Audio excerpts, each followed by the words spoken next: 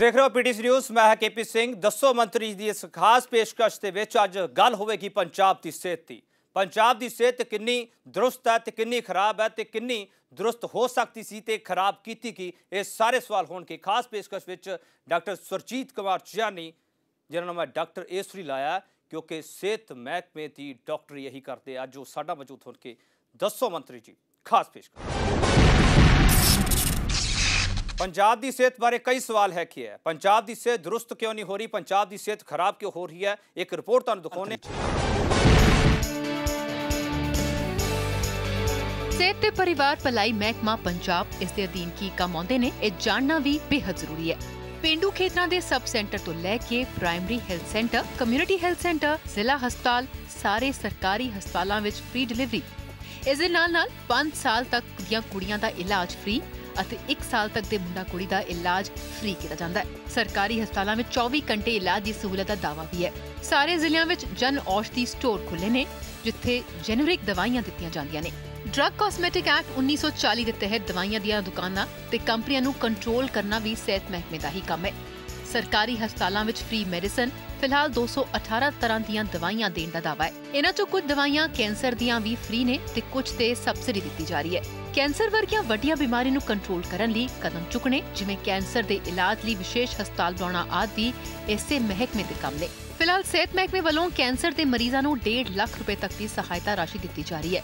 ਹਰ ਵਰਗ ਨੂੰ ਦਿੱਤੀ ਜਾਣ ਵਾਲੀ ਸਹਾਇਤਾ ਲਈ ਕੁੱਲ 18 ਹਸਪਤਾਲ ਇੰਪੈਨਲਡ ਨੇ।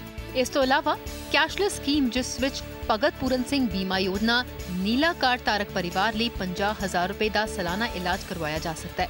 ਇਸ ਨਾਲ ਹੀ ਹਾਦਸੇ ਵਿੱਚ ਮੌਤ ਹੋ ਜਾਣ ਤੇ ਜਾਂ ਅਪਾਹਜ ਹੋਣ ਤੇ 5 ਲੱਖ ਰੁਪਏ ਦੀ ਸਹਾਇਤਾ ਵੀ ਦਿੱਤੀ ਜਾਂਦੀ ਹੈ। EMPLOYEES ਇੰਸ਼ੋਰੈਂਸ ਸਕੀਮ ਅਧੀਨ 3 ਲੱਖ ਰੁਪਏ ਦਾ ਇਲਾਜ ਕਰਵਾਇਆ ਜਾ ਸਕਦਾ ਹੈ, ਜਿਸ ਵਿੱਚ ਮੁਲਾਜ਼ਮ, ਪੈਨਸ਼ਨਰ ਤੇ ਆਸ਼ਰਿਤ ਸ਼ਾਮਿਲ ਨੇ। ਇਸ ਲਈ ਤਕਰੀਬਨ 350 ਇੰਪੈਨਲਡ ਹਸਪਤਾਲ ਨੇ ਕੰਨਿਆ ਭਰੂਣ ਹੱਤਿਆ ਤੇ ਨਕੀਲ ਕਸਣ ਲਈ ਅਲਟਰਾਸਾਊਂਡ ਸੈਂਟਰਸ ਤੇ ਲਗਾਤਾਰ ਨਜ਼ਰਸਾਨੀ ਕਰਨੀ ਵੀ ਸਿਹਤ ਮਹਿਕਮੇ ਦੇ ਹੀ ਅਧੀਨ ਹੈ। Food safety and standard act of India ਅਧੀਨ ਛੋਟੇ ਵਪਾਰੀਆਂ ਲਈ ਆਨਲਾਈਨ ਰਜਿਸਟ੍ਰੇਸ਼ਨ ਦੇ ਨਾਲ ਲਾਇਸੈਂਸ ਵੀ ਸਿਹਤ ਮਹਿਕਮਾ ਹੀ ਦੇਖਦਾ ਹੈ। ਫੂਡ ਇੰਸਪੈਕਟਰ ਡਰੱਗ ਇੰਸਪੈਕਟਰ ਵੀ ਸਿਹਤ ਤੇ ਪਰਿਵਾਰ ਭਲਾਈ ਮਹਿਕਮੇ ਅਧੀਨ ਨੇ।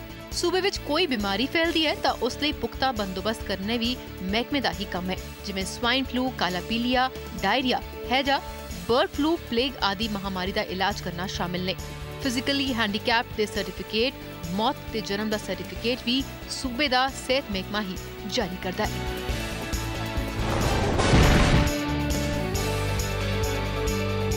ਸੁਰਜੀਤ ਕੁਮਾਰ ਜਾਨੀ ਫਾਜ਼ਿਲਕਾ ਦੇ ਪਿੰਡ ਕਟਹਿਰਾ ਵਿੱਚ 23 ਅਗਸਤ 1956 ਨੂੰ ਜਨਮੇ ਜਾਨੀ ਦਾ ਪਿਛੋਕੜ ਕਿਸਾਨੀ ਹੈ।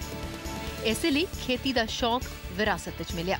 ਸਰਗਰਮ ਸਿਆਸਤ ਵਿੱਚ ਆਉਣ ਤੋਂ ਪਹਿਲਾਂ ਪਿੰਡ ਅਤੇ ਕਾਲਜ ਪੱਧਰ ਤੇ ਸੁਰਜੀਤ ਕੁਮਾਰ ਜਾਨੀ ਆਰਐਸਐਸ ਵਿੱਚ ਸਰਗਰਮ ਰਹੇ। ਆਰਐਸਐਸ ਤੋਂ ਭਾਜਪਾ ਵਿੱਚ ਪੱਕੀ ਐਂਟਰੀ ਮਾਰਨ ਵਾਲੇ ਜਿਆਨੀ ਨੇ 1992 ਤੇ 1996 ਵਿੱਚ ਫਿਰੋਜ਼ਪੁਰ ਤੋਂ ਲੋਕ ਸਭਾ ਚੋਣ ਲੜੀ, ਪਰ ਕਾਮਯਾਬੀ ਨਹੀਂ ਮਿਲੀ। ਇਸ ਦੌਰਾਨ 1993 ਤੋਂ 1994 ਤੱਕ ਜਿਆਨੀ ਫਿਰੋਜ਼ਪੁਰ ਤੋਂ ਭਾਜਪਾ ਦੇ ਜ਼ਿਲ੍ਹਾ ਪ੍ਰਧਾਨ ਵੀ ਰਹੇ। ਫਿਰ 1997 ਵਿੱਚ ਜਿਆਨੀ ਨੇ ਫਾਜ਼ਿਲਕਾ ਤੋਂ ਵਿਧਾਨ ਸਭਾ ਚੋਣ ਲੜੀ ਤੇ ਜਿੱਤ ਕੇ ਪੰਜਾਬ ਦੇ ਪਿੰਡੂ ਵਿਕਾਸ ਅਤੇ ਪੰਚਾਇਤ ਮੰਤਰੀ ਬਣੇ। ਇਹ ਸਿਲਸਿਲਾ ਅੱਗੇ ਵਧਿਆ ਤੇ ਫਿਰ ਸਾਲ 2002 ਤੋਂ 2012 ਤੱਕ ਜਿਆਨੀ ਵਿਧਾਨ ਸਭਾ ਦੇ ਮੈਂਬਰ ਰਹੇ। 2007 ਤੋਂ 2012 ਵਿੱਚ ਜਿਆਨੀ ਟਰਾਂਸਪੋਰਟ ਮੰਤਰੀ ਤੇ ਉੱਚ ਤਕਨੀਕੀ ਸਿੱਖਿਆ ਮੰਤਰੀ ਬਣੇ। ਇਸ ਤੋਂ ਪਹਿਲਾਂ ਸਾਲ 2004 ਤੋਂ 2005 ਤੱਕ ਜਿਆਨੀ ਨੇ ਭਾਜਪਾ ਕਿਸਾਨ ਮੋਰਚਾ ਦੇ ਸੂਬਾ ਪ੍ਰਧਾਨ ਦੀ ਜ਼ਿੰਮੇਵਾਰੀ ਵੀ ਸੰਭੀ। ਫਾਜ਼ਿਲਕਾ ਨੂੰ ਜ਼ਿਲ੍ਹਾ ਬਣਾਉਣ ਦੇ ਸੰਘਰਸ਼ ਵਿੱਚ ਵੀ ਜਿਆਨੀ ਦਾ ਨਾਂ ਸਿਆਸੀ ਸਫਾ ਵਿੱਚ ਖਾਸੀ ਚਰਚਾ ਦਾ ਵਿਸ਼ਾ ਬਣਿਆ। ਇਸ ਤੋਂ ਇਲਾਵਾ ਆਪਣੇ ਬਿਆਨਾਂ ਕਰਕੇ ਵੀ ਜਾਨੀ ਕਈ ਵਾਰ ਵਿਵਾਦਾਂ ਵਿੱਚ ਵੀ ਰਹੇ। ਫਿਲਹਾਲ ਜਾਨੀ ਸੂਬੇ ਦੇ ਸਿਹਤ ਮਹਿਕਮੇ ਦੀ ਜ਼ਿੰਮੇਵਾਰੀ ਸੰਭ ਰਹੇ ਨੇ। ਪੰਜਾਬ ਦੀ ਸਿਹਤ। ਲਗਾਤਾਰ ਇਹ ਸਵਾਲ ਪੁੱਛਿਆ ਜਾਂਦਾ ਹੈ। ਪੰਜਾਬ, ਉਹ ਪੰਜਾਬ ਜਿਹੜਾ ਸਿਹਤ ਪੱਖੋਂ ਖੁਸ਼ਹਾਲ ਮੰਨਿਆ ਜਾਂਦਾ ਹੈ। ਜਿਹੜਾ ਖਾਣ ਪੀਣ ਦੇ ਪੱਖੋਂ ਖੁਸ਼ਹਾਲ ਮੰਨਿਆ ਜਾਂਦਾ ਹੈ। ਪਰ ਪੰਜਾਬ ਦੀ ਸਿਹਤ ਖਰਾਬ ਕਿਉਂ ਹੋ ਰਹੀ ਹੈ? ਪਿਛਲੇ 9-10 ਸਾਲਾਂ ਵਿੱਚ ਸਰਕਾਰ ਨੇ ਕੀ ਕੀਤਾ ਹੈਗਾ? ਕੈਬਨਿਟ ਮੰਤਰੀ ਸਰਜੀਤ ਕੁਮਾਰ ਚਾਨੀ ਜਾਨੀ ਸਾਹਿਬ ਬਹੁਤ ਸਵਾਗਤ ਹੈ। ਪਰ ਸਵਾਗਤ ਦੇ ਨਾਲ ਅਫਸੋਸ ਨਾਲ ਇਹ ਸਵਾਲ ਕਰਨਾ ਪੈ ਰਿਹਾ ਹੈ ਪੰਜਾਬ ਦੀ ਸਿਹਤ ਖਰਾਬ ਹੈ। ਕੀ ਕਰ ਰਿਹਾ ਸਿਹਤ ਮਹਿਕਮਾ? ਪੰਜਾਬ ਦੀ ਸਿਹਤ ਖਰਾਬ ਹੈ।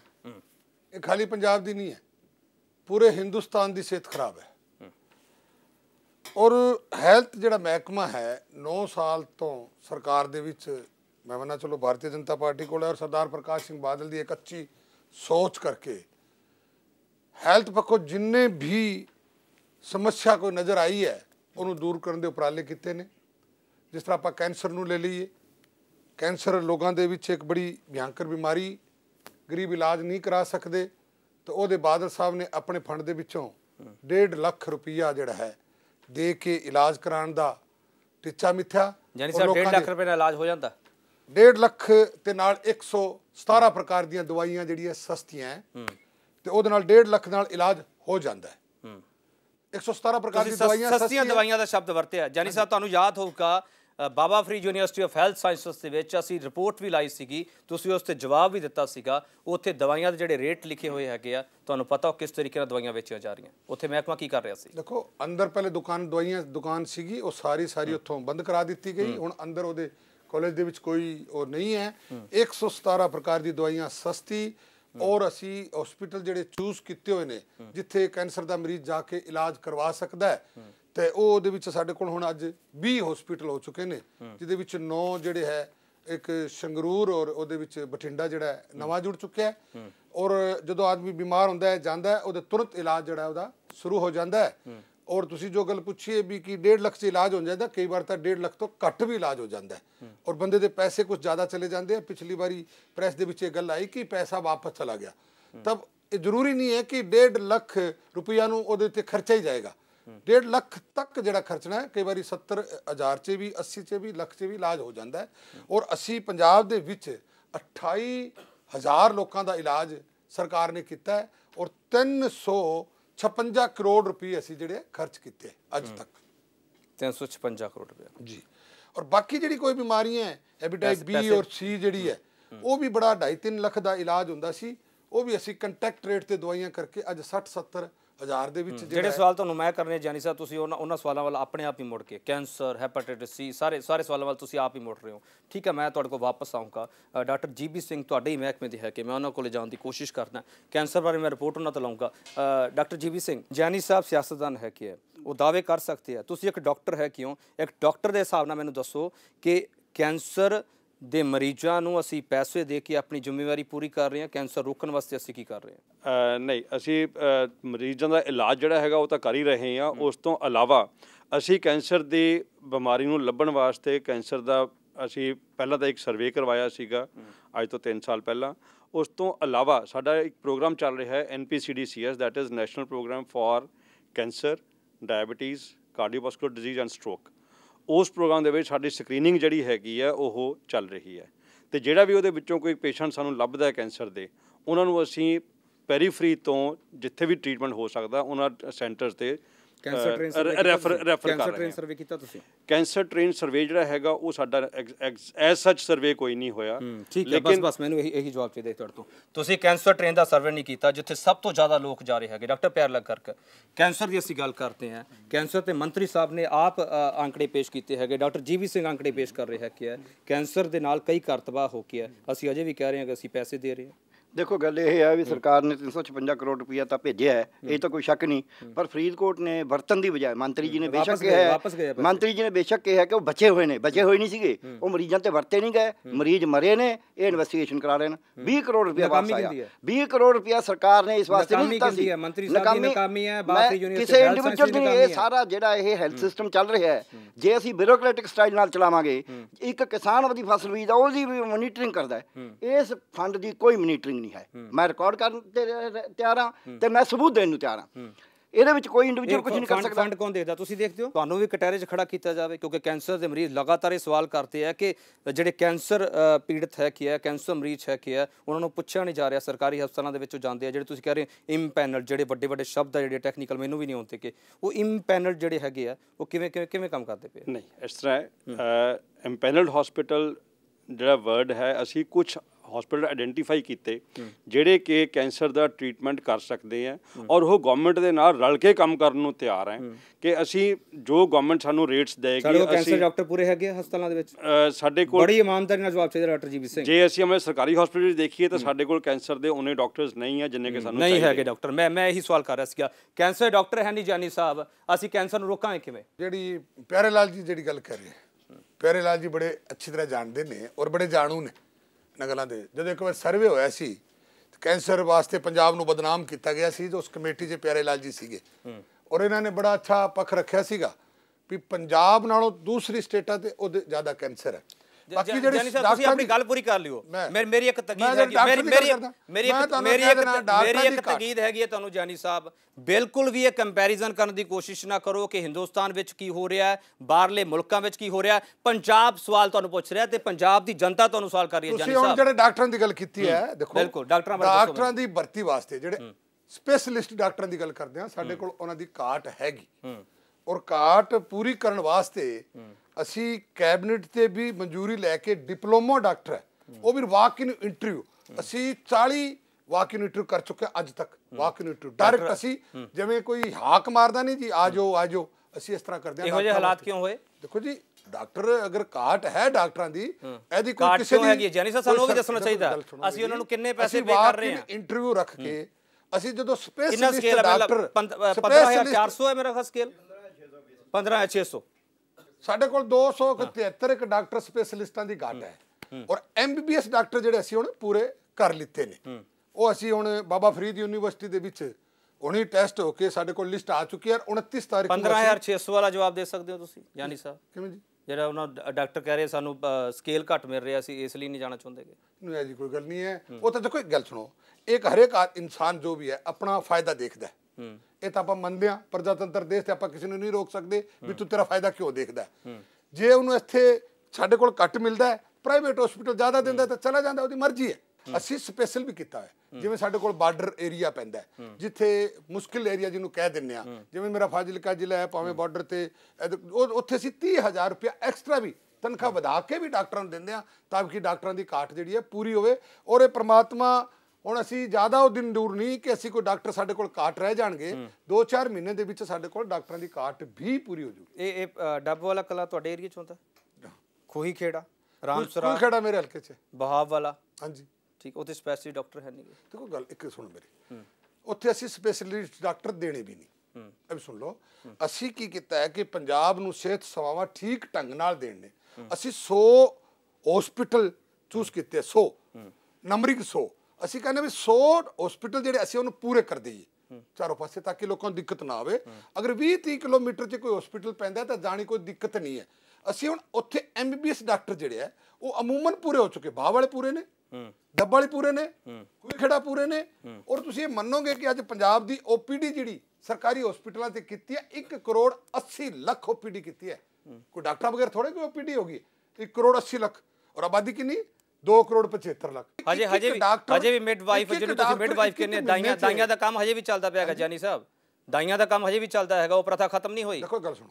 ਉਹਦੇ ਵਿੱਚ ਕੀ ਅੱਜ 7-8% ਜ਼ਰੂਰ ਹੋਮ ਡਿਲੀਵਰੀ ਰਹੀ ਹੈ। ਇਹ ਚੀਜ਼ ਨੂੰ ਅਸੀਂ ਨਕਾਰਦੇ ਨਹੀਂ ਤੁਹਾਡੇ ਏਰੀਆ 'ਚ ਜ਼ਿਆਦਾ ਹੈ। ਸਾਡੇ ਏਰੀਆ 'ਚ ਨਹੀਂ ਹੈ। ਜ਼ਿਆਦਾ ਜਿਹੜੀ ਹੈ ਕੋਈ ਹੋਰ ਜ਼ਿਲ੍ਹਿਆਂ 'ਚ ਸਾਡੇ ਏਰੀਆ 'ਚ ਨਹੀਂ ਹੈ। ਮੇਰੇ ਖਿਆਲ ਜਲੰਧਰ ਵਗੈਰਾ ਸਾਈਡ ਤੇ ਥੋੜੀ ਜੀ ਜ਼ਿਆਦਾ ਹੈ। ਸਾਡੇ ਏਰੀਆ 'ਚ ਜ਼ਿਆਦਾ ਨਹੀਂ ਹੈ। 7-8% ਹੈ। ਉਹਦੇ ਵਾਸਤੇ ਵੀ ਅਸੀਂ ਬੜੇ ਉਪਰਾਲੇ ਕਰ ਰਹੇ ਹਾਂ। ਉਹ ਵੀ ਅਸੀਂ ਜਲਦੀ ਜਿਹੜਾ ਹੈ ਕਿ ਡਿਲੀਵਰੀ ਜਿਹੜੀ ਹੈ, ਪਹਿਲੇ ਡਿਲੀਵਰੀ ਘਰਾਂ 'ਚ ਹੀ ਹੋ ਜਾਂਦੀ ਸੀ, ਕੋਈ ਐਜੀ ਗੱਲ ਨਹੀਂ ਸੀ। ਕਿਉਂ ਹੋ ਜਾਂਦੀ ਸੀ ਕਿ ਉਦੋਂ ਟੈਟਨਸ ਨਹੀਂ ਹੁੰਦੀ ਸੀ, ਸਾਰ ਮਿੱਟੀ ਵੀ ਸ਼ੁੱਧ ਹੁੰਦੀ ਸੀ, ਹਵਾ ਵੀ ਸ਼ੁੱਧ ਹੁੰਦੀ ਸੀ, ਪਾਣੀ ਵੀ ਸ਼ੁੱਧ ਹੁੰਦਾ ਸੀ। ਅੱਜ ਟੈਟਨਸ ਜਿਹੜੀ ਹੈ, ਮਿੱਟੀ ਦੇ ਵਿੱਚ ਵੀ, ਮਤਲਬ ਪ੍ਰਦੂਸ਼ਣ ਹੈ, ਹਵਾ ਦੇ ਵਿੱਚ ਵੀ, ਉਹ ਵਾਤਾਵਰਣ ਜਿਹੜਾ ਹੈ, ਉਹਦੇ ਕਰਕੇ ਜ਼ਰੂਰੀ ਹੈ, ਚੱਚਾ ਬੱਚਾ ਸੇਫ ਰਵੇ ਸਰਕਾਰੀ ਹਸਪੀਟਲ 'ਚ, ਅਡ- ਮਤਲਬ ਡਿਲੀਵਰੀ ਹੋਣੀ ਚਾਹੀਦੀ ਹੈ, ਉਹਦੇ ਵਾਸਤੇ ਅਸੀਂ ਆਸ਼ਾ ਵਰਕਰ ਏਐਨਐਮ ਔਰ ਪਿੰਡਾਂ ਦੇ ਵਿੱਚ ਅਸੀਂ ਜਦੋਂ ਵੀ ਡਿਲੀਵਰੀ ਕੇਸ ਦਾ ਪਤਾ ਲੱਗਦਾ ਉਹਦੇ ਨਾਲ ਹੀ ਸਾਡਾ ਜਿਹੜੀ ਸਟਾਫ ਜੋ ਉਹਦੇ ਨਾਲ ਪੂਰਾ ਹੋ ਜਾਂਦਾ ਹੈ ਬਕਾਇਦਾ ਲਿਸਟ ਬਣਦੀ ਹੈ। ਐਸਐਮਓ ਕੋਲ ਲਿਸਟ ਹੁੰਦੀ ਹੈ ਸਾਡੇ ਜਿਹੜੀ 108 ਐਂਬੂਲੈਂਸ ਦੀ ਉਹਦੇ ਕੋਲ ਲਿਸਟ ਹੁੰਦੀ ਹੈ। ਜਦੋਂ ਤੁਰਤ ਟੈਲੀਫੋਨ ਕੀਤਾ ਅਸੀਂ ਉਸ ਘਰੋਂ ਲੈ ਕੇ ਆ ਕੇ ਔਰ ਡਿਲੀਵਰੀ ਜਿਸ ਤਰ੍ਹਾਂ ਕਰਾ ਕੇ ਜੱਚੇ ਬੱਚੇ ਨੂੰ ਸੇਫ ਵਾਪਸ ਘਰੇ ਵੀ ਛੱਡ ਕੇ ਆਨੇ ਆ ਤੇ ਪੰਜਾਬ ਸਰਕਾਰ ਠੀਕ ਹੈ। ਪੂਰਾ ਕੰਮ ਕਰ ਰਿਹਾ ਤੁਸੀਂ ਹੈ ਤੁਸੀਂ ਔਰ ਜੱਚਾ ਬੱਚਾ ਦੀ ਗੱਲ ਜਾਰੀ ਰੱਖੋ। ਸਾਡੇ ਕੋਲ ਡਾਕਟਰ ਕਿਰਨਦੀਪ ਕੌਰ ਹੈਗੇ ਮੈਂ ਉਹਨਾਂ ਕੋਲ ਜਾ ਰਿਹਾ। ਤੁਸੀਂ ਬੜਾ ਅੱਛਾ ਕੰਮ ਕੀਤਾ ਹੈਗਾ। ਇਹਦੇ ਲਈ ਤੁਹਾਨੂੰ ਐਪਰੀਸ਼ੀਏਸ਼ਨ ਵੀ ਦੇਣੀ ਚਾਹੀਦੀ ਹੈਗੀ ਹੈ। ਬਾਕੀ ਡਾਕਟਰ ਕਿਉਂ ਨਹੀਂ ਕਰ ਪਾ ਰਹੇ? ਪੰਜਾਬ ਸਰਕਾਰ ਵੱਲੋਂ ਜਿਹੜੀਆਂ ਫੈਸਿਲਿਟੀਆਂ ਹੈ ਸਾਰੀ ਇਟ ਇਜ਼ ਪ੍ਰੋਵਾਈਡਡ ਐਵਰੀਵੇਅਰ ਸਾਰਿਆਂ ਨੂੰ ਉਵੇਂ ਦਿੱਤੀਆਂ ਦੀ ਗੱਲ ਨਾ ਕਰੋ ਸਰਕਾਰ ਦੀ ਗੱਲ ਕਰਨ ਵਾਸਤੇ ਦੱਸੋ ਮੰਤਰੀ ਜੀ ਹੈਗੇ ਆ। ਤੁਸੀਂ ਡਾਕਟਰਾਂ ਦੀ ਗੱਲ ਕਰੋ ਆਪਣੀ ਬਰਾਦਰੀ ਦੀ ਗੱਲ ਕਰੋ। ਡਾਕਟਰ ਕਿਰਨਦੀਪ ਕੋ 364 ਡਿਲੀਵਰੀਜ਼ ਕਰ ਦਿੰਦੇ ਨੇ ਇੱਕ ਮਹੀਨੇ ਦੇ ਵਿੱਚ। ਬਾਕੀ ਡਾਕਟਰ ਕਿਉਂ ਨਹੀਂ ਕਰ ਪਾ ਰਹੇ? ਬਹੁਤ ਸਾਰੇ ਡਿਸਟ੍ਰਿਕਟਸ ਨੇ ਜਿੱਥੇ ਕਾਫੀ ਅੱਛੀਆਂ ਡਿਲੀਵਰੀਜ਼ ਹੋ ਰਹੀਆਂ ਨੇ। ਇਹ ਇਕੱਲਾ ਸੰਗਰੂਰ ਸਿਵਲ ਹਸਪੀਟਲ ਨਹੀਂ ਹੋਰ ਵੀ ਸੰਗਰੂਰ 'ਚ ਕਾਫੀ ਸਾਰੇ ਹਸਪੀਟਲ ਹੈ ਜਿੱਥੇ ਅੱਛੀਆਂ ਡਿਲੀਵਰੀਜ਼ ਹੋ ਰਹੀਆਂ ਨੇ। Sangrur civil hospital 364 average 300 400 450 deliveries ਹੋ ਰਹੀਆਂ। ਅਸੀਂ ਦੋ ਗਾਇਨਕੋਲੋਜਿਸਟ ਪੋਸਟਡ ਹਾਂ। ਉੱਤੇ ਤੇ ਬਾਕੀ ਚੀਜ਼ਾਂ ਨੇ ਕਿ ਵਿਦ ਐਕਸਪੀਰੀਅੰਸ ਤੁਹਾਡੇ ਕੋਲ देयर ਆਰ ਫਿਊ ਥਿੰਗਸ ਜਿਹੜੀਆਂ ਤੁਸੀਂ ਐਕਸਪੀਰੀਅੰਸ ਦੇ ਨਾਲ ਗੇਨ ਕਰਦੇ ਹੋ ਜਾਨੀ ਸਾਹਿਬ ਅੰਮ੍ਰਿਤਸਰ ਦੇ ਵਿੱਚ ਇੱਕ ਹਸਪਤਾਲ ਆ ਜਿੱਥੇ ਕੈਂਡਲ ਰੋਸ਼ਨੀ ਦੇ ਨਾਲ ਡਿਲੀਵਰੀ ਹੋ ਰਹੀ ਹੈ ਮੈਂ ਤਾਂ ਪਹਿਲੀ ਵਾਰ ਤੁਹਾਡੇ ਕੋਲ ਹੀ ਸੁਣਿਆ ਮੈਂ Media ਤਾਂ ਫਿਰ reports ਸੁਣਿਆ ਵੀ ਕੋਈ ਹੈਗੀਆਂ ਉਹ। ਉਹਦੇ ਨਾਲ ਹੁੰਦਾ ਕਿੱਥੇ ਕੋਈ ਲਾਈਟ ਦੀ ਕਮੀ ਨਹੀਂ ਹੈ ਸਾਰੇ ਹਸਪੀਟਲਾਂ ਵਿੱਚ ਜਨਰੇਟਰ ਨੇ ਔਰ ਹੌਟ ਲਾਈਨ ਹੈ ਔਰ ਪੂਰੀ ਅੱਛੀ ਲਾਈਟਾਂ ਵੀ ਹੈ ਜਿੱਥੇ ਵੀ ਲਾਈਟ ਕਮ ਹੁੰਦੀ ਹੈ ਸਾਡੇ ਕੋਲ ਸਮਾਨ ਦੀ ਕਿਸੇ ਤਰ੍ਹਾਂ ਦੀ ਕੋਈ ਕਮੀ ਨਹੀਂ ਹੈ। ਔਰ ਤੁਸੀਂ ਕਹਿੰਦੇ ਹੋ ਜੀ ਇਹਨਾਂ ਡਾਕਟਰ ਸਾਰੇ ਸਾਰੇ ਸਾਰੇ ਡਾਕਟਰ ਜਾਨੀ। ਸਾਹਿਬ, ਫਿਰ ਇਹ ਲਾਈਟ ਪੰਜਾਬ ਦੀ ਸਿਹਤ ਤੇ ਕਿਉਂ ਨਹੀਂ ਪੈ ਰਹੀ? ਜਾਨੀ ਸਾਹਿਬ। ਲੁਧਿਆਣਾ ਇੱਕ ਮਹੀਨੇ 'ਚ 650 ਡਿਲੀਵਰੀ ਹੁੰਦੀ ਨੇ। 400 450 ਤੁਹਾਨੂੰ ਲੁਧਿਆਣਾ ਲੁਧਿਆਣਾ ਸ਼ਾਇਦ ਭੁੱਲ ਗਿਆ ਲੁਧਿਆਣਾ ਵਿੱਚ ਹੀ ਲੁਧਿਆਣਾ ਵਿੱਚ ਹੀ ਬੱਚੇ ਮਰੇ ਸੀ ਨਾ। ਜਾਨੀ ਸਾਹਿਬ ਜੋ ਤੁਹਾਨੂੰ ਕਾਰਵਾਈ ਕਰਨੀ ਪਈ ਸੀਗੀ ਦੇਖੋ ਗੱਲ ਹੈ ਮੀਡੀਆ ਦੇ ਦਬਾਅ ਤੋਂ ਬਾਅਦ। ਦੇਖੋ ਗੱਲ ਸੁਣੋ। ਸਾਰੇ ਕਦੇ ਫਲ ਜਿਹੜੇ ਬੀਜ ਸਾਰੇ ਅੰਕੁਰਿਤ ਨਹੀਂ ਹੁੰਦੇ। ਇਹ ਰੱਬ ਤੇ ਵੀ ਛੱਡਿਆ ਜਾਂਦਾ ਹੈ। ਡਾਕਟਰ ਕਦੇ ਵੀ ਕੋਈ ਐਜਾ ਨਹੀਂ ਹੈ। ਡਾਕਟਰ ਜਾਨੀ ਸਾਹਿਬ ਰੱਬ ਤੇ ਛੱਡਿਆ ਜਾਂਦਾ ਡਾਕਟਰ ਨੂੰ ਰੱਬ ਦਾ ਰੂਪ ਕਿਹਾ ਜਾਂਦਾ ਜਾਨੀ ਸਾਹਿਬ ਹੋਰ ਕਿਹੜਾ ਰੱਬ ਲਿਆਈ ਆਪਾਂ ਦੱਸੋ ਮੈਨੂੰ। ਫਿਰ ਇੱਕ ਗੱਲ ਦੱਸਣਾ ਚਾਹਨਾ ਤੁਹਾਨੂੰ ਕਿ ਪੰਜਾਬ ਦੇ ਵਿੱਚ ਸਭ ਤੋਂ ਘੱਟ ਜਿਹੜੀ ਹੈ ਡੈਥ ਰੇਸ਼ੋ ਬੱਚਿਆਂ ਦੀ ਔਰ ਮਾਂ ਦੀ ਹੈ। ਪੰਜਾਬ ਦੇ ਵਿੱਚ 1 ਲੱਖ ਪਿੱਛੇ 141 ਹੈ ਮਾਤਾਵਾਂ ਦੀ ਔਰ ਹਜ਼ਾਰ ਪਿੱਛੇ ਬੱਚਿਆਂ ਦੀ ਹੈ 24 ਔਰ ਸੈਂਟਰ ਜਿਹੜਾ ਹੈ 30 ਤੱਕ ਮੰਦਾ ਜਾਇਜ਼ ਔਰ ਅਸੀਂ ਅਜੇ ਵੀ ਕੋਸ਼ਿਸ਼ ਕਰਦੇ ਹਾਂ ਕਿ ਇਸ ਤੋਂ ਥੱਲੇ ਜਾਣਾ। ਪੰਜਾਬ ਹੈਲਥ ਸਿਸਟਮ ਜਿਹੜਾ ਹੈ ਬਹੁਤ ਬੜੀਆ ਹੈ ਬਹੁਤ ਅੱਛਾ ਹੈ ਔਰ ਲੋਕ ਵੀ ਮੰਨਦੇ ਨੇ। ਸਾਫ਼ ਸਫ਼ਾਈ ਹਸਪੀਟਲ ਅੱਛੇ ਸਾਰੇ ਡਾਕਟਰ ਇਮਾਨਦਾਰੀ ਨਾਲ ਕੰਮ ਕਰ ਰਹੇ ਨੇ। ਸਾਰੇ ਡਾਕਟਰ ਮੰਨਦੇ ਨੇ ਕੰਮ ਕਰ। ਰਹੇ ਮੈਂ ਸੰਤੁਸ਼ਟ ਹਾਂ। ਲੋਕ ਸੰਤੁਸ਼ਟ ਨੇ। ਪੱਤਰਕਾਰ ਸੰਤੁਸ਼ਟ ਨਹੀਂ ਹੈ ਖਾਲੀ ਸਾਰੇ ਸੰਤੁਸ਼ਟ ਹੈ ਦੁਨੀਆ ਸੰਤੁਸ਼ਟ ਕੱਲੇ ਪੱਤਰਕਾਰ ਸੰਤੁਸ਼ਟ ਨਹੀਂ ਹੈਗੇ। ਠੀਕ ਹੈ ਜਦੋਂ ਜਦੋਂ ਪੱਤਰਕਾਰ ਸੰਤੁਸ਼ਟ ਨਹੀਂ ਹੁੰਦਾ ਫਿਰ ਉਹ ਸਵਾਲ ਕਰਦਾ ਹੈਗਾ ਤੇ ਮੈਂ ਸਵਾਲ ਹੋਰ ਵੀ ਤੁਹਾਨੂੰ ਕਰਨੇ ਹੈਗੇ ਜਾਨੀ ਸਾਹਿਬ। ਤੁਸੀਂ ਕਹਿ ਰਹੇ ਹੋ ਕਿ ਜੱਚਾ ਬੱਚਾ ਵਿਭਾਗ ਸਾਡਾ ਬੜੀਆ ਕੰਮ ਕਰਦਾ ਪਿਆ ਡਾਕਟਰ ਇਮਾਨਦਾਰ ਹੈ ਕਿ ਹੈ ਡਾਕਟਰ ਬਾਲੀ ਇਮਾਨਦਾਰੀ ਦੀ ਪਰਿਭਾਸ਼ਾ ਤੁਸੀਂ ਦੱਸੋਗੇ। ਤੁਸੀਂ ਹੈਲਥ ਡਾਇਰੈਕਟਰ ਹੋ। ਡਾਕਟਰ ਇਮਾਨਦਾਰ ਹੈ ਸਾਰੇ ਇਮਾਨਦਾਰ ਨਾਲ ਕੰਮ ਕਰਦੇ ਪਏ। ਦੇਖੋ ਜੇ ਸਾਡੇ ਕੋਲ ਕਿਸੇ ਡਾਕਟਰ ਦੀ ਕੋਈ ਸ਼ਿਕਾਇਤ ਆਂਦੀ ਹੈ ਵੀ ਉਹ ਪੈਸੇ ਲੈਂਦਾ ਹੈ ਜਾਂ ਪੈਸੇ ਬਿਨਾਂ ਕੰਮ ਨਹੀਂ ਕਰਦਾ ਅਸੀਂ ਉਹਨੂੰ ਘੋਖਦੇ ਹਾਂ। ਕਈ ਦਫਾ ਲੋਕ ਸ਼ਿਕਾਇਤ ਝੂਠੀ ਵੀ ਕਰ ਦਿੰਦੇ ਨੇ ਤੇ ਕਈ ਦਫਾ ਸਹੀ ਵੀ ਕਰਦੇ ਹਾਂ ਜਦੋਂ ਸਹੀ ਹੁੰਦਾ ਤਾਂ ਅਸੀਂ ਡਾਕਟਰ ਦੇ ਖਿਲਾਫ ਕਾਰਵਾਈ ਕਰਦੇ ਹਾਂ ਕਿੰਨੀਆਂ ਕਾਰਵਾਈਆਂ ਕੀਤੀਆਂ ਹੁਣ ਤੱਕ? ਹੁਣ- ਦੇਖੋ ਕਾਰਵਾਈ ਚਾਰ ਛਿੜ ਕੀਤੇ ਹੈ। ਚਲੋ ਮੈਨੂੰ ਮੈਨੂੰ ਚਲੋ ਠੀਕ ਹੈ ਤੁਹਾਡੇ ਕੋਲੇ ਡਾਟਾ ਨਹੀਂ ਹੋਊਗਾ ਉਹ ਮੈਨੂੰ ਇਹ ਦੱਸੋ ਕਿਸ ਮਾਮਲੇ ਵਿੱਚ ਕਾਰਵਾਈ ਹੁੰਦੀ ਹੈ? ਕਿਹੋ ਜਿਹੀ ਰਿਪੋਰਟਸ ਤੁਹਾਡੇ ਕੋਲ ਆਉਂਦੀਆਂ ਡਾਕਟਰ ਜੇ ਕੋਈ ਨੈਗਲੀਜੈਂਸ ਦੀ ਰਿਪੋਰਟ ਆਵੇ ਵੀ ਕਿਸੇ ਡਾਕਟਰ ਦੀ ਅਣਗਹਿਲੀ ਕਰਕੇ ਕਿਸੇ ਮਰੀਜ਼ ਦੀ ਡੈਥ ਹੋਈ ਹੈ ਜਾਂ ਉਹ ਪ੍ਰੋਪਰ ਟਾਈਮ ਤੇ ਨਹੀਂ ਆਇਆ ਜਾਂ ਉਹ ਉਹਨੇ ਪੇਸ਼ੈਂਟ ਨੂੰ ਗਲਤ ਰੈਫਰ ਕਰਤਾ। ਕਰਪਸ਼ਨ ਦੀ ਰਿਪੋਰਟ ਆਉਂਦੀ ਹੈ? ਕਰਪਸ਼ਨ ਦੀ ਆਉਂਦੀਆਂ ਰਹਿੰਦੀਆਂ ਜੀ ਲੇਕਿਨ ਹੁਣ ਇਹ ਹੈ ਵੀ ਅਸੀਂ ਐਕਸ਼ਨ ਲੈਂਦੇ ਆ ਅਗਰ ਕਰਪਸ਼ਨ ਪ੍ਰੂਵ ਹੋ ਜਾਂਦੀ ਹੈ। ਕਈ ਦਫਾ ਗੁੱਸਾ ਕੱਢਣ ਨਾਲ ਕਿਸੇ ਦੀ ਕਿਸੇ ਨਾਲ ਲਾਗਡਟ ਹੁੰਦੀ ਹੈ ਦੋ ਡਾਕਟਰਾਂ ਦੀ ਇੱਕ ਦੂਜੇ ਸ਼ਿਕਾਇਤ ਕਰ ਦਿੰਦਾ। ਮੋਸਟਲੀ ਇਹ ਇਦਾਂ ਦੇ ਠੀਕ ਠੀਕ ਹੈ ਤੁਹਾਡੇ ਕੋਲ ਮੋਸਟਲੀ ਹੋ ਜਾਏ। ਜਾਨੀ ਸਾਹਿਬ ਇੱਕ ਡਾਕਟਰ ਬਲਦੇਵ ਸਹੋਤਾ ਦਾ ਨਾਮ ਮੈਨੂੰ ਯਾਦ ਆ ਰਿਹਾ। ਉਹ ਕੇਸ ਤੁਹਾਨੂੰ ਵੀ ਯਾਦ ਹੋਊਗਾ। ਉਹ ਡਾਕਟਰ ਸਾਹਿਬ ਦੀ ਡੈਥ ਕਿਉਂ ਹੋ ਗਈ ਸੀ? ਮੇਰੇ ਸਮਝਦੇ ਨਹੀਂ ਆਈ ਕਿਉਂ ਡੈਥ ਹੋ ਗਈ। ਇੱਥੇ ਇੱਥੇ ਹੈਲਥ ਇੱਥੇ ਹੈਲਥ ਡਾਕਟਰ ਕੋਲ ਹੀ ਆਇਆ ਸੀ। ਬਲਦੇਵ ਸੋਤਾ ਹੈ ਉਹ ਮੇਰਾ ਕਲਾਸ ਫੈਲੋ ਸੀ। ਉਹ ਡਿਪਟੀ ਡਾਇਰੈਕਟਰ ਸੀ। ਉਹਦੀ ਮੌਤ ਦਾ ਕਾਰਨ ਉਹਦੇ ਘਰ ਦੀ ਪਰੇਸ਼ਾਨੀ ਸੀ। ਘਰਦਿਆਂ ਨੇ ਕਿਹਾ ਤਾਂ ਮਹਿਕਮੇ ਦੀ ਪਰੇਸ਼ਾਨੀ ਨਹੀਂ ਨਹੀਂ। ਬਿਲਕੁਲ ਉਹਨਾਂ ਦੇ ਘਰਦਿਆਂ ਦਾ ਬਿਲਕੁਲ- ਬਿਆਨ ਹੈ ਬਿਲਕੁਲ ਜੀ, ਕੋਈ ਪਛਾਣੀ ਸੀ। ਮੇਰਾ। ਮੇਰਾ ਜਿਗਰੀ ਦੋਸਤ ਸੀ ਉਹ। ਠੀਕ ਹੈ ਤੇ ਕੋਈ ਇਦਾਂ ਦੀ ਗੱਲ ਨਹੀਂ ਸੀ। ਉਹਨੇ ਘਰ ਦੇ ਵਿੱਚ ਮੈਂ ਤੁਹਾਨੂੰ ਇਕੱਲੇ ਨੂੰ ਦੱਸ ਸਕਦਾ। ਠੀਕ ਹੈ ਨਹੀਂ ਉਹਨੂੰ ਕੋਈ ਘਰੇਲੂ ਪ੍ਰੋਬਲਮ ਕਾਫੀ ਜ਼ਿਆਦਾ ਸੀ। ਉਹਦਾ ਇੱਕ ਬੱਚਾ ਮਤਲਬ ਥੋੜਾ ਜਿਹਾ ਮਾਨਸਿਕ ਘੱਟ ਬੁੱਧੀ ਸੀ। ਤੇ ਇੱਕ ਮਤਲਬ ਬੇਟਾ ਸੀ ਘਰੇਲੂ ਪ੍ਰੋਬਲਮ ਕਰਕੇ ਉਹਦੀ ਮੌਤ ਹੋਈ ਹੈ। ਤੁਸੀਂ ਕਹਿ ਰਹੇ ਹੋ ਮੇਰਾ ਬਹੁਤ ক্লোਜ਼ ਸੀ ਉਹ। ਹਾਂਜੀ। ਬਹੁਤ ਤੁਹਾਡੇ ਨੇੜੇ ਹੈ ਕਿ ਉਹਨਾਂ ਦਾ ਪਰਿਵਾਰ ਤੁਹਾਨੂੰ ਸੁਣ ਰਿਹਾ ਇਸ ਵੇਲੇ? ਹਾਂਜੀ ਹਾਂਜੀ ਉਹਨਾਂ ਦੇ ਆਪਣੇ ਮੈਡਮ ਹੈਗਾ ਸਨਾਪ ਰਹਿੰਦੇ ਨੇ। ਰਿਟਾਇਰਡ ਪ੍ਰਿੰਸੀਪਲ ਹੈ। ਤੇ ਕੋਈ ਇਦਾਂ ਦੀ ਘਰੇਲੂ ਪਰੇਸ਼ਾਨੀ ਸੀ ਤਣਾਅ ਸੀਗਾ। ਬਹੁਤ ਜ਼ਿਆਦਾ। ਠੀਕ ਹੈ। ਡਾਕਟਰ ਬਾਲੀਆ ਕਹਿ ਰਿਹਾ ਕਿ ਤਣਾਅ ਸੀ ਘਰੇਲੂ ਪਰੇਸ਼ਾਨੀ ਸੀ ਪਰ ਪੰਜਾਬ ਵਿੱਚ ਤਣਾਅ ਕਿਉਂ ਹੈਗਾ? ਪੰਜਾਬ ਵਿੱਚ ਸਟ੍ਰੈਸ ਕਿਉਂ ਹੈਗਾ? ਇਹ ਸਵਾਲ ਵੀ ਲਗਾਤਾਰ ਕੀਤਾ ਜਾਵੇਗਾ। ਬ੍ਰੇਕ ਤੋਂ ਬਾਅਦ ਦੱਸੋ ਮੰਤਰੀ ਦੀ ਖਾਸ ਪੇਸ਼ਕਸ਼ ਜਾਰੀ ਹੈ ਤੇ ਸਵਾਲ ਇਹ ਕੀਤਾ ਜਾਵੇਗਾ ਪੰਜਾਬ ਦੀ ਸਿਹਤ ਮਹਿਕਮੇ ਦੇ ਵਿੱਚ ਕਰਪਸ਼ਨ ਹੋ ਰਹੀ ਹੈ ਤੇ ਸਿਹਤ ਮੰਤਰੀ ਸਾਹਿਬ ਕਰ ਕੀ ਰਹੇ ਨੇ?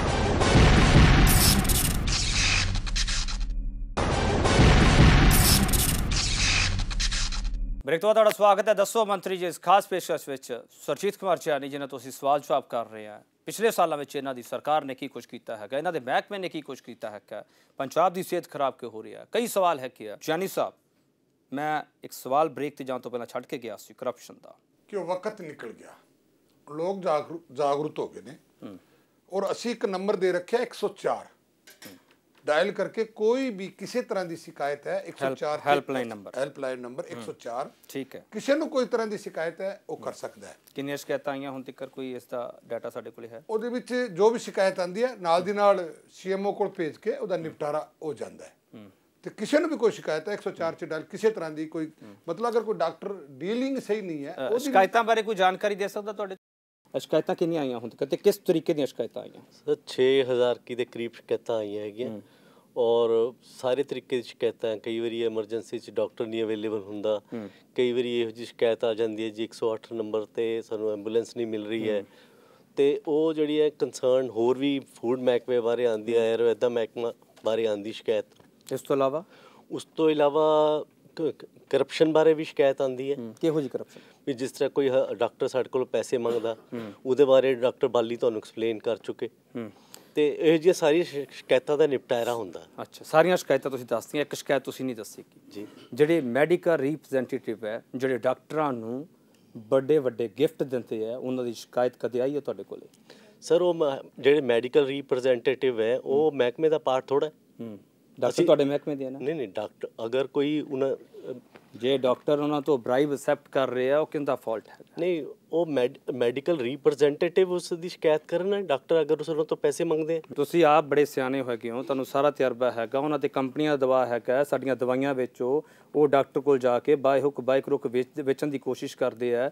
ਡਾਕਟਰ ਅੱਗੋਂ ਉਹਨਾਂ ਤੋਂ ਗਿਫਟ ਲੈਂਦੇ ਹੈਗੇ ਤੁਸੀਂ ਆ। ਦੱਸੋ ਬੜਾ ਕਲੀਅਰ ਹੈਗਾ ਜੀ। ਤੁਹਾਨੂੰ ਸਭ ਕੁਝ ਪਤਾ ਹੈਗਾ। ਨਹੀਂ ਸਰ ਤੁਸੀਂ ਸ਼ਿਕਾਇਤ ਕਰ ਦਿਓ ਜਰਾ ਬਾਰੇ। ਅਗਰ ਤੁਹਾਡੇ ਕੋਲ ਕੋਈ ਪ੍ਰੂਫ ਹੈ ਇਸ ਤਰ੍ਹਾਂ ਕਿਸੇ ਨੇ ਪੈਸੇ ਮੰਗੇ ਹੈ ਤੁਸੀਂ 104 ਤੇ ਸ਼ਿਕਾਇਤ ਦਰਜ ਕਰਾ ਦਿਓ ਸਰ ਤੁਸੀਂ ਸ਼ਿਕਾਇਤ ਦਾ ਇੰਤਜ਼ਾਰ ਕਰੋਗੇ? ਜੀ। ਠੀਕ ਹੈ ਜਾਨੀ ਸਾਹਿਬ ਹਰ ਚੀਜ਼ ਲਈ ਸ਼ਿਕਾਇਤ ਦਾ ਇੰਤਜ਼ਾਰ ਕੀਤਾ ਜਾਂਦਾ ਹੈ।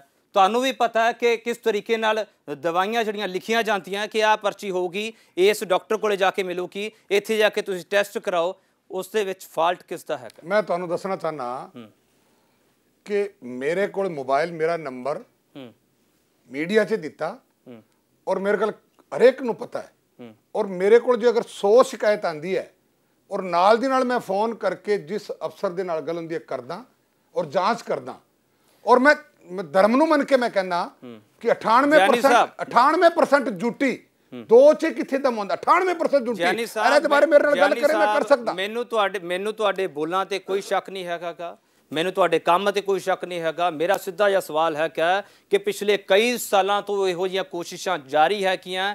ਡਾਕਟਰਾਂ ਨੂੰ ਪੈਸੇ ਦਿੱਤੇ ਜਾਂਦੇ ਆ ਗਿਫਟ ਦਿੱਤੇ ਜਾਂਦੇ ਆ। ਉਸ ਤੋਂ ਬਾਅਦ ਦਵਾਈਆਂ ਲਿਖੀਆਂ ਜਾਂਦੀਆਂ। ਜਾਨੀ ਸਾਹਿਬ। ਨਹੀਂ ਦੇਖੋ ਗੱਲ ਸੁਣੋ। ਉਹ ਵਕਤ deny ਕਰਦੇ ਹੋ ਇਸ ਗੱਲ ਨੂੰ? ਇੱਕ ਗੱਲ ਸੁਣੋ। ਕਰਦੇ ਹੋ ਤੁਸੀਂ ਇਸ ਗੱਲ ਨੂੰ? ਨਹੀਂ ਜਾਨੀ ਸਾਹਿਬ। ਇੱਕ ਗੱਲ ਮੇਰੀ ਸੁਣੋ ਨਾ। ਪਟਿਆਲੇ ਦੀ ਗੱਲ ਹੈ। ਪਟਿਆਲੇ ਅਸੀਂ ਗਏ ਪੱਤਰਕਾਰ ਨੇ ਸ਼ਿਕਾਇਤ ਕੀਤੀ। ਪੱਤਰਕਾਰ ਕਹਿਣ ਲੱਗਿਆ ਜੀ ਮੈਨੂੰ ਦਵਾਈ ਜਿਹੜੀ ਹੈ ਲਿਖ ਕੇ ਦਿੱਤੀ। ਨਾ ਤੋਂ। ਅਸੀਂ ਜੈਨਰਿਕ ਦਵਾਈ ਜਿਹੜੀ ਹੈ ਅਸੀਂ ਕਹਿੰਦੇ ਆ ਵੀ ਨਾ ਨਹੀਂ ਸਾਲਟ ਲਿਖੋ। ਤੇ ਕਹਿੰਦੇ ਜੀ ਮੈਨੂੰ ਲਿਖ ਕੇ ਦਿੱਤੀ। ਮੈਂ ਕਿਹਾ ਪਰਚੀ ਲਿਆਓ। ਪਰਚੀ ਮੰਗਾਈ ਡਾਕਟਰ ਨੂੰ ਬੁਲਾਇਆ। ਵਾਕਈ ਸਾਲਟ ਲਿਖਿਆ ਹੋਇਆ। ਇੱਕ ਪੱਤਰਕਾਰ ਕਹਿੰਦਾ ਜੀ ਮੈਨੂੰ ਦਵਾਈ ਹਸਪੀਟਲ ਤੋਂ ਮਿਲੀ ਨਹੀਂ। ਉਹਨੂੰ ਸੱਦਿਆ ਵੀ ਦਵਾਈ ਕਿਉਂ ਨਹੀਂ ਮਿਲੀ? ਫਾਰਮੇਸੀ। ਨਹੀਂ ਮੇਰੀ ਗੱਲ ਪੂਰੀ ਸੁਣੋ ਨਾ ਸੁਣੋ। ਤੁਸੀਂ ਇਹ ਕਹਿਣਾ ਚਾਹ ਉਹਨੂੰ ਰਹੇ ਹੋ। ਸੱਦਿਆ ਉਹਨੂੰ ਸੱਦਿਆ ਪੱਤਰਕਾਰ ਉਹ ਮੈਂ ਅੱਛਾ ਨਹੀਂ ਅਸੀਂ ਗਲਤ ਉਹਨੇ- ਦੱਸ ਰਹੇ ਹਾਂ। ਉਹਨੇ ਨਹੀਂ ਗੱਲ ਕਿਉਂ? ਮੈਂ ਗੱਲ ਜਾਇਜ਼ ਕਰ ਰਿਹਾ ਮੀਡੀਆ 'ਚ ਕਰ ਰਿਹਾ ਔਰ ਪੱਤਰਕਾਰਾਂ ਦੀ ਗੱਲ ਕਰ ਰਿਹਾ। ਉਹਨੂੰ ਮੈਂ ਸੱਦਿਆ ਫਾਰਮੇਸੀ ਨੂੰ ਸੱਦਿਆ। ਉਹ ਕਹਿੰਦਾ ਮੇਰੇ ਕੋਲ ਠੀਕ ਹੈ ਤੁਸੀਂ ਆਇਆ ਸੀ ਤੁਸੀਂ ਡਿਨਾਈ ਕਰ ਰਹੇ ਹੋ ਨਾ। ਆਇਆ ਸੀ ਮੈਂ ਰੋਟੀ ਖਾ ਰਿਹਾ ਸੀ। ਕਰ ਰਹੇ ਤੇ ਰੋਟੀ ਪਿਆਰ ਨਾਲ ਖਾਣਾ ਕਰ- ਕੋਈ ਗੁਨਾਹ ਥੋੜਾ ਹੀ। ਮੈਂ ਪਿਆਰ ਨਾਲ ਕਰਕੇ ਇੱਕ ਵਾਰੀ ਪੁੱਛ ਲਵਾਂ। ਐਕਸ ਰਜਿਸਟਰ ਤੁਸੀਂ ਰਹੇ ਹੋ ਬਾਫਰੀ ਯੂਨੀਵਰਸਿਟੀ ਆਫ ਹੈਲਥ ਸਾਇੰਸਸ ਤੇ। ਤੁਹਾਡੇ ਆਸ-ਪਾਸ ਉੱਥੇ ਜਿੰਨਾ ਕੁਝ ਹੋ ਰਿਹਾ ਤੁਹਾਨੂੰ ਪਤਾ ਸਭ ਕੁਝ ਜੇ ਮੈਂ ਗਲਤ ਕਹਿ ਰਿਹਾ ਤਾਂ ਤੁਸੀਂ ਦੱਸ ਦਿਓ। ਜਾਨੀ ਸਾਹਿਬ ਡਿਨਾਈ ਕਰ ਰਹੇ ਮੇਰੇ ਦੇਖੋ ਮਹਿਕਮੇ ਦੇ ਵਿੱਚ ਕਰਪਸ਼ਨ ਦਾ ਜਿੱਥੋਂ ਤੱਕ ਸਵਾਲ ਹੈ ਅਸੀਂ ਇੱਕ ਗੱਲ ਨੂੰ ਫੋਕਸ ਕਰ ਰਹੇ ਹਾਂਗੇ ਮੈਕਸਿਮਮ ਬਿਲਡਿੰਗਾਂ ਬਣਾਉਣ 'ਚ ਕਰਪਸ਼ਨ ਹੈ ਪਰਚੇਜ਼ ਕਰਪਸ਼ਨ ਹੈ ਜਦ ਮਰਜ਼ੀ ਦੇਖ ਲੈਣ। ਤੇ ਉੱਤੋਂ ਜਦ ਕਰਪਸ਼ਨ ਚੱਲਦੀ ਹੈ ਡਾਕਟਰਾਂ ਤੋਂ ਮਹੀਨਾ ਲਿਆ ਜਾਂਦਾ ਹੈ। ਮੈਂ ਦਾਅਵੇ ਨਾਲ ਕਹਿਣ ਨੂੰ ਤਿਆਰ ਹਾਂ ਮੈਂ ਪ੍ਰੂਵ ਕਰਾਂਗਾ। ਤੇ ਉਹ ਫਿਰ ਜਦ ਇੱਕ ਸਪੈਸ਼ਲਿਸਟ ਡਾਕਟਰ ਹੈ ਉਹ ਤੋਂ ਐਮਬੀਬੀਐਸ ਦੀ ਤਨਖਾਹ ਤੇ ਕੰਮ ਕਰਾਇਆ ਜਾ ਰਿਹਾ ਹੈ। ਉਹਦਾ ਜੂਨੀਅਰ ਜਿਹੜਾ 4 ਸਾਲ ਪਹਿਲਾਂ ਐਮਬੀਬੀਐਸ ਦੇ ਵਿੱਚੋਂ ਐਮਡੀ ਚ ਐਡਮਿਸ਼ਨ ਨਹੀਂ ਲੈ ਸਕਿਆ ਉਹ 4 ਸਾਲ ਬਾਅਦ ਉਹਦਾ ਸੀਨੀਅਰ ਵੀ ਹੁੰਦਾ ਉਹ ਤੋਂ 20000 ਤਨਖਾਹ ਵੀ ਵੱਧ ਲੈਂਦਾ ਕੰਮ ਵੀ ਘੱਟ ਕਰਦਾ। ਸੋ ਜੇ ਮਹਿਕਮਾ ਇਹ ਕਰੇਗਾ ਤਾਂ ਉਹਦੇ ਚ ਡਾਕਟਰ ਵੀ ਇਸੇ ਹਮਾਮ ਚ ਨੇ। ਤੇ ਉੱਤੇ ਆਈਐਸ ਅਫਸਰ ਤੋਂ ਲੈ ਕੇ ਥੱਲੇ ਤੱਕ ਕਰਪਸ਼ਨ ਹੋ ਰਹੀ ਹੈ ਮਹਿਕਮੇ 'ਚ ਇਹ ਠੀਕ ਹੈ ਜਾਨੀ ਸਾਹਿਬ ਕੋਸ਼ਿਸ਼ ਕਰਦੇ ਨੇ 104 ਨੰਬਰ ਦੀ ਗੱਲ ਕਹੀ ਹੈ ਇਹਨਾਂ ਨੇ ਇੱਕ Punjab health EMPLOYEES and insurance ਕਰੀ ਹੈ ਮੈਂ ਉਸ ਤੇ ਤਿੰਨ ਦਿਨ 104 ਦੇ ਉੱਤੇ ਫੋਨ ਆਪਕੀ ਕਾਲ ਹਮਾਰੇ लिए बहुत इंपॉर्टेंट है वो ਕਾਲ ਨਹੀਂ ਮਚੋਰ ਹੋਈ ਇਹ 104 ਦਾ ਹਾਲ ਦੇਖ ਲਓ ਜੀ, ਹੈ ਮੈਂ 104 ਖੁਦ ਤਿੰਨ ਦਿਨ ਲਗਾਤਾਰ ਕਰਦਾ ਰਹੀ ਜਾਨੀ ਸਾਹਿਬ ਪੱਤਰਕਾਰ ਸ਼ਿਕਾਇਤ ਕਰਦਾ ਹੈ ਤੁਹਾਨੂੰ ਇਤਰਾਜ਼ ਹੁੰਦਾ ਹੈ ਇਹ ਤੁਹਾਡੇ ਹੀ ਮਹਿਕਮੇ 'ਚ ਰਹੇ ਚਲੋ ਸ਼ਿਕਾਇਤ ਇਹ ਨਹੀਂ ਹੈ ਕਿ ਸਾਰਾ ਸਿਸਟਮ ਜਿਹੜਾ ਹੈ ਆਪਾਂ ਕਹਿ ਦਈਏ ਵੀ ਐਨ ਪਾਕ ਹੈ। ਉਹ ਨਹੀਂ ਕਿੱਥੇ ਕਿੱਥੇ ਗਲਤੀਆਂ ਹੁੰਦੀ ਹੈ। ਇਹ ਤਾਂ ਬਹੁਤ ਵੱਡੀ ਗਲਤੀ ਹੈਗੀ ਜਾਨੀ ਸਾਹਿਬ। ਪੂਰਾ ਸਿਸਟਮ ਹੈ ਉਹਨਾਂ ਜਿਹੜਾ ਉੱਪਰ ਤੋਂ ਲੈ ਕੇ ਥੱਲੇ ਉਹਨਾਂ ਤੱਕ ਉਹ ਕਹਿ ਰਿਹਾ ਮੈਂ ਤਾਂ ਕਹਿ ਨਹੀਂ ਰਿਹਾ ਹੁਣ। 6000 ਸ਼ਿਕਾਇਤ ਆਈ। ਇਹਨਾਂ ਨੇ ਜਿਹੜੇ ਪਿਆਰੇ ਲਾਲ ਜੀ ਨੂੰ ਕੋਈ ਸ਼ਿਕਾਇਤ ਕੀਤੀ ਤਾਂ ਪਿਆਰੇ ਤਾਂ ਵੈਸੇ ਜਾਣਕਾਰੀ ਸਾਰੀ ਹੈ। ਇਹ ਤਾਂ ਸਾਰੀ ਚੀਜ਼। ਜਾਣਕਾਰੀ ਹੈਗੀ ਹੈ ਟੈਲੀਫੋਨ ਐਕਸਚੇਂਜ ਨਹੀਂ ਚਲਾ ਪਰ ਸਕਦੇ ਅੱਜ ਗੱਲ ਜਿਹੜੀ ਕਹਿ ਰਹੇ ਗਰਗ ਸਾਹਿਬ ਦਵਾਈਆਂ ਬਾਰੇ ਦੱਸ ਸਕਦੇ ਆ ਜਾਨੀ ਸਾਹਿਬ ਇਹਨਾਂ ਨੂੰ ਟੈਲੀਫੋਨ ਐਕਸਚੇਂਜ ਬਾਰੇ ਥੋੜੀ ਪਤਾ ਹੈਗਾ। ਤੁਸੀਂ। ਕਹਿ ਰਹੇ ਕਿ ਮੇਰਾ ਨੰਬਰ ਲੈ ਲਓ ਸਾਰੇ ਜਾਨੇ ਨਹੀਂ। ਤੁਹਾਡੇ ਨੰਬਰ ਤੇ ਜੇ ਇਹੋ ਜਿਹਾ ਮੈਸੇਜ ਆ ਗਿਆ ਅੱਗੋਂ ਵੀ ਤੁਹਾਡੀ ਕਾਲ ਬੜੀ ਇੰਪੋਰਟੈਂਟ ਹੈਗੀ ਮੇਰੀ। ਜਾਨੀ ਸਾਹਿਬ ਮਿਲਦੇ ਨਹੀਂ ਨਹੀਂ ਪਏ। ਨਹੀਂ ਇਹ ਗੱਲ ਮੇਰੀ ਸੁਣੋ। ਜਿਹੜੀ ਅੱਜ ਪਿਆਰੇ ਲਾਲ ਜੀ ਨੇ ਗੱਲ ਕਹੀ ਹੈ ਇਹਦੀ ਮੈਂ ਜਾਂਚ ਕਰੂੰਗਾ। ਹੂੰ। ਚਲੋ ਠੀਕ ਹੈ। ਇੱਕ ਗੱਲ ਤਾਂ ਤੁਸੀਂ ਮੰਨੇ ਚਲੋ ਠੀਕ ਹੈ। ਤੁਸੀਂ ਜਾਂਚ ਕਰੋ। ਇੱਕ ਇੱਕ ਗੱਲ ਤੁਸੀਂ ਮੰਨ ਗਏ। ਨਹੀਂ ਬਹੁਤ ਸ਼ੁਕਰੀਆ। ਬਹੁਤ ਧੰਨਵਾਦ ਤੁਹਾਡਾ। ਤੁਸੀਂ ਇੱਕ ਗੱਲ ਮੰਨੇ ਹੋ ਕੀ ਨਾਮ ਤੁਹਾਡਾ? ਡਾਕਟਰ ਕਸ਼ਮੀਰ ਸਿੰਘ ਸੋਹਲ ਜੀ ਮੈਂ ਸੂਬਾ ਪ੍ਰਧਾਨ ਪੀਸੀਐਮਐਸ ਸਪੈਸ਼ਲਿਸਟ ਡਾਕਟਰ ਜੀ ਐਸੋਸੀਏਸ਼ਨ ਪੰਜਾਬ। ਤੇ ਕਿਉਂ ਤੁਹਾਨੂੰ ਇਹ ਪ੍ਰਧਾਨ ਕਿਉਂ ਬੰਨਣਾ ਪੈ ਗਿਆ? ਇਹਦੇ ਵਿੱਚ ਸਾਡੇ ਸਪੈਸ਼ਲਿਸਟ ਡਾਕਟਰਾਂ ਦੀਆਂ ਖਾਸ ਕਰਕੇ ਕਈ ਪ੍ਰੋਬਲਮਾਂ ਸੀ। ਇਹ ਸਾਡੀ ਜਿਹੜੀ ਸਪੈਸ਼ਲਿਸਟ ਡਾਕਟਰ ਜੀ ਐਸੋਸੀਏਸ਼ਨ ਜਥੇਬੰਦੀ ਆ ਇਹ ਜਿਹੜੀ ਆ ਪੰਜਾਬ ਦੇ ਵਿੱਚ ਚੰਗੀਆਂ ਸਿਹਤ ਸੇਵਾਵਾਂ ਵਾਸਤੇ ਯਤਨਸ਼ੀਲ ਆ। ਜਿਹਦੇ ਵਿੱਚ ਅਸੀਂ ਆਪਣੇ ਮੈਂਬਰਾਂ ਨੂੰ ਜਿਸ ਤਰ੍ਹਾਂ ਜਾਣੀ ਸਾਹਿਬ ਨੇ ਵੀ ਦੱਸਿਆ ਵਾ ਵੀ ਪ੍ਰੇਰਦੇ ਆ ਕਿ ਉਹ ਵੱਧ ਤੋਂ ਵੱਧ ਚੰਗੀਆਂ ਲੋਕਾਂ ਨੂੰ ਸੇਵਾਵਾਂ ਦੇਣ। ਉਹਦੇ ਨਾਲ ਦੇ ਨਾਲ ਅਸੀਂ ਸਰਕਾਰ ਦਾ ਜਿਹੜਾ ਉਹਦੇ ਨਾਲ ਵੀ ਰਾਬਤਾ ਕਾਇਮ ਕਰਦਾ ਵਾਂ ਜੋ ਘਾਟਾਂ ਵਾਧਾਂ ਸਰਕਾਰ ਦੇ ਵਿੱਚ ਨੇ ਉਹ ਵੀ ਇਹਨਾਂ ਦੇ ਧਿਆਨ ਵਿੱਚ ਲਿਆਉਂਦੇ ਆ। ਇਹਦੇ ਵਿੱਚ ਅੱਜ ਉਵੇਂ ਨਹੀਂ ਤੁਸੀਂ ਦੱਸ ਰਹੇ ਜਿਵੇਂ ਦੱਸਦੇ ਹੋ ਇਹਦੇ ਵਿੱਚ ਕੋਈ ਸ਼ੱਕ ਨਹੀਂ ਗਾ। ਸਾਹਿਬ ਸਾਹਮਣੇ ਤਾਂ ਕਰਕੇ ਨਹੀਂ ਜਾਣੀ ਸਾਹਿਬ ਦਾ ਮੈਨੂੰ ਕੋਈ 114 ਕਮਿਊਨਿਟੀ ਹੈਲਥ ਸੈਂਟਰ ਮੈਂ ਉਹਦੇ ਵੱਲ- ਪਿੰਡੂ ਖੇਤਰਾਂ ਦੇ ਵਿੱਚ। ਹਾਂਜੀ, ਉਹਦੇ ਵੱਲ ਮੈਂ ਹੈ? ਆਉਣ- ਉੱਥੇ ਚਾਰ ਸਪੈਸ਼ਲਿਸਟ ਡਾਕਟਰ ਚਾਹੀਦੇ ਆ ਤਿੰਨ ਜਨਰਲ ਡਾਕਟਰ ਚਾਹੀਦੇ ਉਸ ਪਾਸੇ ਵੱਲ ਮੈਂ ਆ ਉਸ ਪਾਸੇ। ਵੱਲ ਮੈਂ ਆਉਣ ਲੱਗਾ ਵਾਂ। ਕਿ ਭਾਵੇਂ ਕਿ ਜਿਸ ਤਰ੍ਹਾਂ ਜਾਣੀ ਸਾਹਿਬ ਨੇ ਕਿਹਾ ਵਾ ਕਿ ਇਹਦੇ ਵਿੱਚ ਕੋਈ ਸ਼ੱਕ ਨਹੀਂ ਕਿ ਪਹਿਲਾਂ ਨਾਲੋਂ ਪੰਜਾਬ ਦੇ ਵਿੱਚ ਸਿਹਤ ਸੇਵਾਵਾਂ ਚ ਸੁਧਾਰ ਹੋਇਆ। ਪਰ ਜਿਹੜੀਆਂ ਜਿਹੜੀਆਂ ਘਾਟਾਂ ਵਾ, ਉਹਦਾ ਅਸੀਂ ਨਜ਼ਰਅੰਦਾਜ਼ ਨਹੀਂ ਕਰ ਸਕਦੇ ਕਿਉਂਕਿ ਸਾਡੀ ਐਸੋਸੀਏਸ਼ਨ ਪੰਜਾਬ ਦੇ ਵਿੱਚ ਚੰਗੀਆਂ ਸਿਹਤ ਸੇਵਾਵਾਂ ਲਈ ਯਤਨਸ਼ੀਲ ਆ। ਅੱਜ ਜਿਸ ਤਰ੍ਹਾਂ ਇਹਨਾਂ ਨੇ ਦੱਸਿਆ ਵੀ ਕੁਛ ਸਪੈਸ਼ਲਿਸਟ ਘੱਟ ਆ, ਸਪੈਸ਼ਲਿਸਟ ਬਹੁਤ ਜ਼ਿਆਦਾ ਘੱਟ ਆ, ਬਹੁਤ ਸ਼ਾਰਟੇਜ ਆ ਸਪੈਸ਼ਲਿਸਟਾਂ ਦੀ। ਚ- ਜੇ ਤੁਸੀਂ ਠੀਕ ਕਿਹਾ ਵਾ ਕਿ 114 ਜਿਹੜੇ community health centre block level ਦੇ ਹਸਪਤਾਲ ਆ ਉਹਦੇ ਵਿੱਚ 4-4 ਸਪੈਸ਼ਲਿਸਟਾਂ ਦੀਆਂ ਪੋਸਟਾਂ ਵਾ ਜਿਹੜੇ ਕਿ 400 151 ਹੈਗੇ community health ਹਾਂਜੀ center। ਹਾਂਜੀ 191 ਚਾਹੀਦੇ ਆ ਪੰਜਾਬ ਦੀ ਆਬਾਦੀ ਦੇ ਹਿਸਾਬ ਨਾਲ। 37 ਦੇ ਵਿੱਚ ਜਿਹੜੇ ਨੇ ਉਹ ਸਪੈਸ਼ਲਿਸਟ ਪੋਸਟਡ ਨੇ 114 ਦੇ ਵਿੱਚੋਂ ਸਰਕਾਰ ਨੇ ਕੱਢ ਲਿਆ ਕਿਉਂਕਿ ਸਪੈਸ਼ਲਿਸਟਾਂ ਦੇ ਡਾਕਟਰਾਂ ਦੀ ਘਾਟ ਆ। ਸਪੈਸ਼ਲਿਸਟ ਡਾਕਟਰਾਂ ਦੀ ਘਾਟ ਕਿਉਂ ਆ? ਘਾਟ ਪੂਰੀ ਹੋਊਗੀ ਕਿ ਨਹੀਂ ਹੋਊਗੀ? ਘਾਟ ਕਿਉਂ ਆ? ਵਿਸ਼ਵਾਸ ਹੈਗਾ ਮਾੜਾ ਮੋਟਾ ਇਹਦੇ ਵਿੱਚ ਉਹੀ ਮੈਂ ਦੱਸਣ ਲੱਗਾ ਵੀ ਇਹ ਘਾਟ ਕਿਉਂ ਆ? ਸਰਕਾਰ ਇਸ ਪਾਸੇ ਵੱਲ ਨਹੀਂ ਧਿਆਨ ਦੇ ਰਹੀ ਵੀ ਇਹ ਸਪੈਸ਼ਲਿਸਟ ਆ ਕਿਉਂ ਨਹੀਂ ਰਹੇ। ਇੱਕੋ ਗੱਲ ਸਰਕਾਰ ਨੇ ਦੱਸੋ ਆ ਕਿਉਂ ਨਹੀਂ ਰਹੇ? ਮੈਂ ਹੀ ਤਾਂ ਸਵਾਲ ਕਰ ਰਿਹਾ ਤੁਹਾਨੂੰ। ਤੁਸੀਂ ਦੱਸਦੇ ਨਹੀਂ ਪਏ ਤੁਸੀਂ ਇਹ ਦੱਸ ਰਹੇ ਹੋ ਘਾਟ ਹੈਗੀ ਘਾਟ ਸਾਨੂੰ ਵੀ ਪਤਾ ਹੈਗੀ ਫਿਰ ਕਹਿਣਗੇ ਪੱਤਰਕਾਰ ਸ਼ਿਕਾਇਤ ਕਰਦੇ ਆ। ਹਾਂਜੀ ਇਹਦੇ ਵਿੱਚ ਘਾਟ ਸਰਕਾਰ ਨੂੰ ਵੀ ਪਤਾ ਕਿਉਂ? ਪਰ ਸਰਕਾਰ ਉਸ ਪਾਸੇ ਵੱਲ ਆਉਂਦੀ ਨਹੀਂ ਕਿ ਵੀ ਇਹ ਸਪੈਸ਼ਲਿਸਟ ਕਿਉਂ ਨਹੀਂ ਡਾਕਟਰ ਇਹ ਜਿਹੜੇ ਆ ਰਹੇ? ਠੀਕ ਹੈ ਠੀਕ ਹੈ। ਅੱਠ ਤਰ੍ਹਾਂ ਦਾ ਮੈਨੂੰ ਲੱਗਦਾ ਡਾਕਟਰ ਚਾਹੀਦੇ ਹੁੰਦੇ ਆ ਸਪੈਸ਼ਲ ਡਾਕਟਰ ਜ਼ਿਆਦਾ ਜਿਨ੍ਹਾਂ ਦੀ ਜ਼ਰੂਰਤ ਹੈ ਕੀ ਹੈ। ਸਾਡੇ ਕੋਲ ਹੈ। ਪੰਜਾਬ 'ਚ ਮੇਰੇ ਖਿਆਲ 275 ਡਾਕਟਰਾਂ ਦੀ ਸਪੈਸ਼ਲਿਸਟਾਂ ਦੀ ਘਾਟ ਹੈ ਔਰ 70 ਡਾਕਟਰ ਸਾਡੇ ਜਿਹੜੇ ਪੀਜੀ ਕਰਨ ਜਾਂਦੇ ਨੇ ਔਰ 3 ਸਾਲ ਬਾਅਦ ਆ ਜਾਂਦੇ ਨੇ। ਜਿਹੜਾ ਹੁਣ ਜਿਹੜਾ ਬੈਚ ਆਏਗਾ ਔਰ ਅਸੀਂ ਵਾਕਈ ਇੰਟਰਵਿਊ ਜਿਹੜੀ 40 ਕੀਤੀ ਹੈ ਔਰ ਵਾਕਈ ਇੰਟਰਵਿਊ ਸਾਰੀ ਲਗਾਤਾਰ ਚੱਲਦੀ ਹੈ ਪਿਛਲੀ ਵਾਰੀ ਸਾਨੂੰ 42 ਡਾਕਟਰ ਮਿਲੇ। ਚਲੋ ਕੁਝ ਜੁਆਇਨ ਕਰਦੇ ਕੁਝ ਨਹੀਂ ਕਰਦੇ ਅਸੀਂ ਲਗਾਤਾਰ ਸਾਡਾ ਪ੍ਰਯਾਸ ਜਿਹੜਾ ਹੈ ਉਹ ਚੱਲਦਾ ਜਾ ਰਿਹਾ ਠੀਕ ਹੈ। ਤਾਂ ਉਹਦੇ ਵਿੱਚ ਅਸੀਂ ਸਪੈਸ਼ਲਿਸਟ ਦਾ ਅਸੀਂ ਡਿਪਲੋਮਾ ਵੀ ਲੈਣੇ ਸ਼ੁਰੂ ਕਰਤੇ ਜਿਹੜੇ 2 ਸਾਲ ਦੇ ਡਿਪਲੋਮਾ ਹੈ। ਚਲੋ ਲੋਕਾਂ ਨੂੰ ਸਿਹਤ ਸੇਵਾ ਕੋਸ਼ਿਸ਼ ਕਮੀ ਕਿੱਥੇ ਹੈ। ਇਮਾਨਦਾਰ ਨਾਲ ਜਵਾਬ ਦਿਓ। ਕੋਸ਼ਿਸ਼ 'ਚ ਕਮੀ ਕਿੱਥੇ ਦੇਖੋ ਪ੍ਰਾਈਵੇਟ ਜਿਹੜੇ ਹਸਪੀਟਲ ਬਣੇ ਹੋਏ ਨੇ ਉਹਦੇ ਵਿੱਚ ਆਮਦਨ ਜ਼ਿਆਦਾ ਨੇ। ਹਰੇਕ ਆਦਮੀ ਆਪਣਾ ਪ੍ਰੋਫਿਟ ਜ਼ਿਆਦਾ ਦੇਖਦਾ ਔਰ ਇਹਦੇ ਵਿੱਚ ਆਪਾਂ ਕਿਸੇ ਨੂੰ ਰੋਕ ਨਹੀਂ ਸਕਦੇ। ਤਾਂ ਉਸ ਧਿਆਨ ਉਧਰ ਉਸ ਤਰਫ ਜ਼ਿਆਦਾ ਸਰਕਾਰ ਵੱਲ ਘੱਟ ਹੁੰਦਾ ਇਸ ਕਰਕੇ ਗੱਲ ਹੈ। ਪ੍ਰਾਈਵੇਟ ਡਾਕਟਰ ਪ੍ਰਾਈਵੇਟ ਹਸਪਤਾਲ ਤੁਸੀਂ ਗੱਲ ਕਰ ਰਹੇ ਹੋ ਪ੍ਰਾਈਵੇਟ ਹਸਪਤਾਲ ਜਿਵੇਂ ਪੰਜਾਬੀ ਚ ਕਹਾਂ ਤਾਂ ਖੁੰਬਾ ਵਾਂਗੂ ਹੋਏ ਪਏ ਪੰਜਾਬ ਚ। ਸਰਕਾਰੀ ਹਸਪਤਾਲ ਤੇ ਯਕੀਨ ਨਹੀਂ ਰਿਹਾ ਜਾਨੀ ਸਾਹਿਬ। ਸਰਕਾਰੀ ਹਸਪਤਾਲ ਦੇ ਯਕੀਨ ਨਾ ਰਹੇ ਤਾਂ 51% ਡਿਲੀਵਰੀ ਨਾ ਹੋਵੇ। ਹੂੰ। ਔਰ 101 ਕਰੋੜ 80 ਲੱਖ ਓਪੀਡੀ ਨਾ ਹੋਵੇ ਇਹ ਗੱਲ ਨਹੀਂ ਹੈ ਵੀ ਸਰਕਾਰੀ ਹਸਪਤਾਲ ਦਾ ਇਤਬਾਰ ਨਹੀਂ ਹੈ। ਜਿਹੜੇ ਮੀਡੀਆ ਸਾਹਿਬ ਜਾਨੀ ਸਾਹਿਬ ਇਹ ਅੰਕੜੇ ਇਹ ਅੰਕੜੇ ਆਪਣੇ ਆਵਾਜ਼ ਜਾਣਗੇ। ਜਦੋਂ ਸਾਡੀ ਜਿਹੜੀ ਪਿੰਡੂ ਆਬਾਦੀ ਹੈ ਕੀ ਹੈ 5000 ਤੋਂ ਘੱਟ ਤੇ ਗੁਜ਼ਾਰਾ ਕਰਦੀ ਪਈ ਕਿੰਨੀ ਜ਼ਿਆਦਾ। ਉਹ ਸਰਕਾਰੀ ਹਸਪਤਾਲਾਂ ਵਿੱਚ ਜਾਣੀ ਮਜਬੂਰੀ ਹੈ ਉਹਨਾਂ ਦੀ। ਤਾਂ ਹੀ ਤਾਂ ਗਰੀਬ ਦਾ ਬੱਚਾ ਮਰਦਾ ਹਮੇਸ਼ਾ। ਗਰੀਬ ਦੀ ਮਾਂ ਤੜਫਦੀ ਹੈ ਹਸਪਤਾਲਾਂ ਦੇ ਵਿੱਚ ਜਾਨੀ ਸਾਹਿਬ। ਤੁਸੀਂ ਗਰੀਬ ਅਮੀਰ ਇਹਦੇ ਵਿੱਚ ਕੁਝ ਨਹੀਂ ਹੈ। ਅੰਕੜਾ ਬੋਲਦਾ ਹੈ। ਆંકੜਾ ਬੋਲਦਾ ਹੈ ਕਿ 1000 ਪਿੱਛੇ ਸਾਡੇ ਡੈਥ 24 ਹੈ। ਸੈਂਟਰ ਜਿਹਨੂੰ 30 ਮੰਨ ਕੇ ਚੱਲਦਾ ਹੈ। ਯਾਨੀ ਕਿ ਸਾਨੂੰ ਇਸ ਚੀਜ਼ ਦੀ ਪ੍ਰਸ਼ੰਸਾ ਸਲਾਂਘਾ ਮਿਲਦੀ ਹੈ ਪੰਜਾਬ ਨੂੰ। ਪੀਠ ਥਪ ਥਪਾਈ ਹੈ ਸਾਡੀ ਸੈਂਟਰ ਨੇ ਵੀ ਅੱਛਾ ਕੰਮ ਹੋ ਰਿਹਾ ਇੱਥੇ। ਡਿਲੀਵਰੀ ਵਿੱਚ ਵੀ ਔਰ ਦਵਾਈਆਂ ਵਿੱਚ ਵੀ ਔਰ ਸਿਹਤ ਸੇਵਾਵਾਂ ਵਿੱਚ ਵੀ। ਹਾਂ ਮੈਂ ਤੁਸੀਂ ਕਹਿੰਦੇ ਵੀ ਸਾਰਾ ਕੁਝ ਸੁਧਰ ਗਿਆ। ਇਹ ਜਿਹੜੀਆਂ ਕਮੀਆਂ ਇਹ ਤਾਂ ਜਦੋਂ ਤੱਕ ਜ਼ਿੰਦਗੀ ਚੱਲੇਗੀ ਉਦੋਂ ਤੱਕ ਸਮੱਸਿਆ ਨੇ ਮੁੱਕਣਾ ਚੱਲਣਾ ਇਹ ਜ਼ਿੰਦਗੀ ਚੱਲਦੀ ਰਹੂਗੀ। ਸਮਾਂ ਜਮਾ ਸਾਫ਼ ਕਦੇ ਕੋਈ ਚੀਜ਼ ਨਹੀਂ ਹੁੰਦੀ। ਤੁਸੀਂ 218 ਦਵਾਈਆਂ ਦਿੰਦੇ ਹੋ ਹਸਪਤਾਲਾਂ ਦੇ ਵਿੱਚ। 234 ਪ੍ਰਕਾਰ ਦੀ 234 ਇਹ ਮਤਲਬ ਮੈਨੂੰ ਤੁਹਾਡੇ ਹੀ ਮਹਿਕਮੇ ਵੱਲੋਂ ਡਾਟਾ ਗਲਤ ਦਿੱਤਾ ਗਿਆ। 218 ਦੱਸਿਆ ਗਿਆ। ਮੰਤਰੀ ਸਾਹਿਬ ਗਲਤ ਦੱਸ ਰਹੇ ਮੈਂ ਗਲਤ ਦੱਸ ਰਿਹਾ। ਬਾਰੀ ਸਾਹਿਬ ਤੋਂ ਪੁੱਛੀ ਤਰ੍ਹਾਂ ਹੈ ਇਹ 235 ਪਹਿਲਾਂ ਐਸੈਂਸ਼ੀਅਲ ਡਰੱਗ ਲਿਸਟ ਸੀ। ਤੇ ਪਿੱਛੇ ਜੇ ਅਸੀਂ ਸਕਰੂਟਨੀ ਮਤਲਬ ਇਹਦੀ ਕਰਕੇ ਵੀ ਕੁਝ ਦਵਾਈਆਂ ਡਬਲ ਡਬਲ ਸੀ। ਜਿਵੇਂ ਟੈਬਲੇਟ। ਜਿਵੇਂ ਟੈਬਲੇਟ ਐਲਪ੍ਰੈਕਸ ਹੈ ਇੱਕ 0.25 ਵਾਲੀ ਇੱਕ 0.5 ਵਾਲੀ। 218 ਰਹਿ ਏਦਾਂ, ਹੁਣ? ਹੁਣ 218 ਰਹਿ ਠੀਕ ਹੈ ਠੀਕ ਹੈ ਇਹਦੇ ਇਹਦੇ ਚ ਕੋਈ ਇਹਦੇ ਇਹ ਕੋਈ ਘਟਦੀਆਂ ਦਿੱਕਤ ਵੱਧਦੀਆਂ ਨਹੀਂ ਰਹਿੰਦੀਆਂ। ਸਾਰਿਆਂ ਨੂੰ ਦਵਾਈਆਂ ਮਿਲ ਜਾਂਦੀਆਂ ਫ੍ਰੀ ਨਹੀਂ ਦੇਖੋ ਸਾਰੇ ਨੂੰ ਨਹੀਂ ਮਿਲਦੀਆਂ ਡਿਲੀਵਰੀ ਕਿਸੇ ਨੂੰ ਦਵਾਈਆਂ ਬਿਲਕੁਲ ਫ੍ਰੀ ਮਿਲਦੀਆਂ free free drugs free diet free transport free blood delivery case ਨੂੰ everything is free not even a single penny ਅਸੀਂ ਉਹਦਾ ਖਰਚ ਠੀਕ ਪਾਉਂਦੇ ਠੀਕ ਹੈ ਠੀਕ ਹੈ। ਪ੍ਰਾਈਵੇਟ ਹਸਪਤਾਲਾਂ ਦੀ ਮੈਂ ਗੱਲ ਕੀਤੀ ਸੀ। ਪ੍ਰਾਈਵੇਟ ਹਸਪਤਾਲ ਦੇ ਨੁਮਾਇੰਦੇ ਬੈਠੇ ਆ। ਤੁਸੀਂ ਮੇਰਾ ਖਿਆਲ ਮੈਕਸ ਚੋਂ? ਹਾਂਜੀ ਮੈਂ ਮੈਕਸ ਕੀ ਨਾਮ ਤੁਹਾਡਾ? Doctor K S Dhillon. ਸਾਰੇ ਮਰੀਜ਼ ਤੁਸੀਂ ਲੈ ਜਾਓਗੇ? ਸਰਕਾਰੀ ਹਸਪਤਾਲਾਂ ਕੋਈ ਜਾ ਨਹੀਂ ਰਿਹਾ? ਇਹ ਸਰਕਾਰੀ ਹਸਪੀਟਲ ਬਹੁਤ ਵਧੀਆ ਕੰਮ ਕਰ ਰਹੇ ਨੇ ਐਸੀ ਕੋਈ ਗੱਲ ਨਹੀਂ। ਮੈਂ ਜੀ ਜਾਨੀ ਸਾਹਿਬ ਨੂੰ ਪ੍ਰੋਟੈਕਟ ਨਹੀਂ ਕਰ ਰਿਹਾ। ਸਾਡੇ ਨਾਲ ਸਿਵਲ ਹਸਪੀਟਲ ਹੈ। ਮਰੀਜ਼ ਆ ਕੇ ਦੱਸਦੇ ਨੇ ਖਾਸ ਕਰਕੇ ਜਿਹੜਾ ਗਰੀਬ ਗੁਰਬਾ ਉਹ ਆ ਕੇ ਇਹ ਵੀ ਕਹਿੰਦੇ ਆ ਵੀ ਸਰਕਾਰੀ ਹਸਪਤਾਲ ਸਾਨੂੰ ਪੁੱਛਿਆ ਨਹੀਂ ਇਸ ਲਈ ਤੁਹਾਡੇ ਕੋਲ। ਇਹੋ ਜੀ ਇਹੋ ਜੀ ਗੱਲ ਆਉਂਦੀ ਸਾਹਮਣੇ? ਮੈਂ ਨਹੀਂ ਕਦੀ ਸੁਣੀ। ਮੈਂ ਨਹੀਂ ਕਦੀ ਸੁਣੀ। ਤੁਸੀਂ ਤੁਹਾਡਾ ਦਿਲ ਕਰਦਾ ਸਰਕਾਰੀ ਹਸਪਤਾਲ ਜੁਆਇਨ ਕਰਾਂ? ਨਹੀਂ ਮੈਂ ਸੈਟੀਸਫਾਈਡ ਹਾਂ ਮੈਕਸ ਦੇ ਵਿੱਚ। ਨਹੀਂ ਜੇ ਕਦੇ ਮੌਕਾ ਮਿਲਦਾ ਵੀ ਸਰਕਾਰੀ ਹਸਪਤਾਲ ਜੁਆਇਨ ਕਰਨਾ ਕਿਉਂ ਨਹੀਂ ਕਰੋਗੇ? ਕਦੀ ਮੈਂ ਸੋਚਿਆ ਨਹੀਂ ਇਹਦੇ ਬਾਰੇ। ਵਿਸ਼ਵਾਸ ਨਹੀਂ ਹੈਗਾ ਸਰਕਾਰੀ ਹਸਪਤਾਲ ਤੇ? ਨਹੀਂ ਐਸੀ ਕੋਈ ਗੱਲ ਨਹੀਂ। ਕਦੀ ਸੋਚਿਆ ਨਹੀਂ ਇਹਦੇ ਬਾਰੇ। ਜਾਨੀ ਸਾਹਿਬ ਪ੍ਰਾਈਵੇਟ ਹਸਪਤਾਲ ਦੇ ਵਿੱਚ ਉਹ ਰਹਿਣਾ ਚਾਹੁੰਦੇ ਆ ਠੀਕ ਉਹਨਾਂ ਦੀ ਮਰਜ਼ੀ ਹੈ ਕੀ ਹੈ ਪ੍ਰਾਈਵੇਟ ਹਸਪਤਾਲਾਂ ਤੇ ਲੋਕਾਂ ਨੂੰ ਵਿਸ਼ਵਾਸ ਕੋ ਜ਼ਿਆਦਾ ਹੈ ਕਿ ਲੋਕਾਂ ਦੀ ਮਰਜ਼ੀ ਹੈ ਕੀ ਹੈ ਤੁਹਾਡੇ ਮੁਤਾਬਕ। ਠੀਕ ਹੈ? ਜਿਨ੍ਹਾਂ ਕੋਲੇ ਪੈਸਾ ਹੈਗਾ ਉਹ ਮੈਕਸ ਵਿੱਚ ਜਾਏਗਾ ਫੋਰਟਿਸ ਵਿੱਚ ਜਾਏਗਾ। ਠੀਕ ਹੈ ਸਾਰੀਆਂ ਗੱਲਾਂ ਹੈਗੀਆਂ। ਮੇਰਾ ਨਾਲ ਇਹਦੇ ਨਾਲ ਇੱਕ ਹੋਰ ਸਵਾਲ ਵੀ ਹੈਗਾ। ਟ੍ਰਾਂਸਫਰ ਪਾਲਿਸੀ ਹੈ ਜਿਹੜੀ ਡਾਕਟਰਸ ਲਈ ਹੋਣੀ ਚਾਹੀਦੀ ਹੈ ਕਿ ਨਹੀਂ ਹੋਣੀ ਚਾਹੀਦੀ? ਟ੍ਰਾਂਸਫਰ ਪਾਲਿਸੀ ਹੋਣੀ ਚਾਹੀਦੀ ਕਿਉਂ ਹੋਣੀ ਚਾਹੀਦੀ ਹੈ?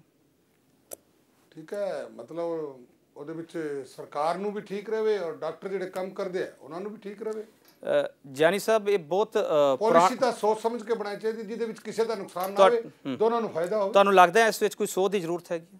ਨਾ ਕੋਈ ਸੋਚ ਦੀ ਲੋੜ ਨਹੀਂ। ਕੋਈ ਸੋਧ ਮੇਰੀ ਇੱਕ ਸੋਚ ਹੈ। ਜਦੋਂ ਦਾ ਮੈਂ ਮਹਿਕਮਾ ਸੰਭਾਲਿਆ ਕਿ ਜਿੰਨਾ ਕੋਈ ਡਾਕਟਰ ਆਪਦੇ ਘਰ ਦੇ ਨਜ਼ਦੀਕ ਹੋਏਗਾ ਉਨਾ ਅੱਛਾ ਕੰਮ ਕਰ ਪਾਏਗਾ। ਜਿੰਨਾ ਦੂਰ ਹੋਏਗਾ ਮੈਂਟਲੀ ਟੈਨ ਪਰੇਸ਼ਾਨੀ ਵੀ ਜਾਨੀ ਸਾਹਿਬ ਹਰੇਕ ਤਰ੍ਹਾਂ ਦੀ ਗੱਲ। ਜਿਹੜੀ ਹੈ ਉਹ ਅਸੀਂ ਵੀ ਅਸੀਂ ਵੀ ਚਾਹੁੰਦੇ ਆ ਡਾਕਟਰ ਆਪਣੇ ਘਰ ਦੇ ਕੋਲ ਰਹਿਣ ਇਹਨਾਂ ਨੂੰ ਵੀ ਕੋਈ ਦਿੱਕਤਾਂ ਨਾ ਹੋਣ। ਪਰ ਮੇਰਾ ਸਵਾਲ ਇਸ ਕਰਕੇ ਸੀਗਾ ਡਾਕਟਰ ਜਾਨੀ ਸਾਹਿਬ ਜਦੋਂ ਅਸੀਂ ਇੱਕ ਡਾਕਟਰ ਨੂੰ ਅਪਾਇੰਟ ਕਰਦੇ ਹੈਗੇ ਪਹਿਲਾਂ ਹੀ ਅਸੀਂ ਉਹੋ ਜਿਹੀ ਜਗ੍ਹਾ ਤੇ ਲਾਈਏ ਕਿ ਉਸ ਨੂੰ ਟ੍ਰਾਂਸਫਰ ਕਰਨ ਦੀ ਜ਼ਰੂਰਤ ਨਾ ਪਵੇ ਕਿਉਂਕਿ ਇੱਕ ਮਰੀਜ਼ ਤੇ ਡਾਕਟਰ ਦਾ ਰਿਸ਼ਤਾ ਬਣ ਜਾਂਦਾ ਜਾਨੀ ਸਾਹਿਬ ਤੁਹਾਨੂੰ ਵੀ ਪਤਾ। ਜੇ ਇੱਕ ਮਰੀਜ਼ ਨੂੰ ਵਿਸ਼ਵਾਸ ਹੋ ਜਾਵੇ ਕਿ ਮੈਂ ਇਸ ਡਾਕਟਰ ਕੋਲ ਇਲਾਜ ਕਰਾਉਣਾ ਹੈਗਾ ਉਹ ਦੂਜੇ ਡਾਕਟਰ ਕੋਲ ਨਹੀਂ ਜਾਊਗਾ। ਤੁਸੀਂ ਤੁਸੀਂ ਤੁਸੀਂ ਤੁਸੀਂ ਸ਼ਾਇਦ ਇਸ ਕਰਕੇ ਕਹਿ ਰਹੇ ਹੋ ਪ- ਪਿਛਲੇ 9 ਸਾਲਾਂ ਦੇ ਵਿੱਚ ਚਾਰ ਮੰਤਰੀ ਸਾਹਿਬ ਵੀ ਬਦਲ ਗਏ ਇਸ ਮਹਿਕਮੇ ਦੇ ਤੁਹਾਨੂੰ ਵੀ ਇਹ ਟ੍ਰਾਂਸਫਰ ਪਾਲਿਸੀ ਪਸੰਦ ਹੈ ਕੀ ਹੈ। ਨਹੀਂ ਦੇਖੋ ਮੇਰੀ ਗੱਲ ਸੁਣੋ।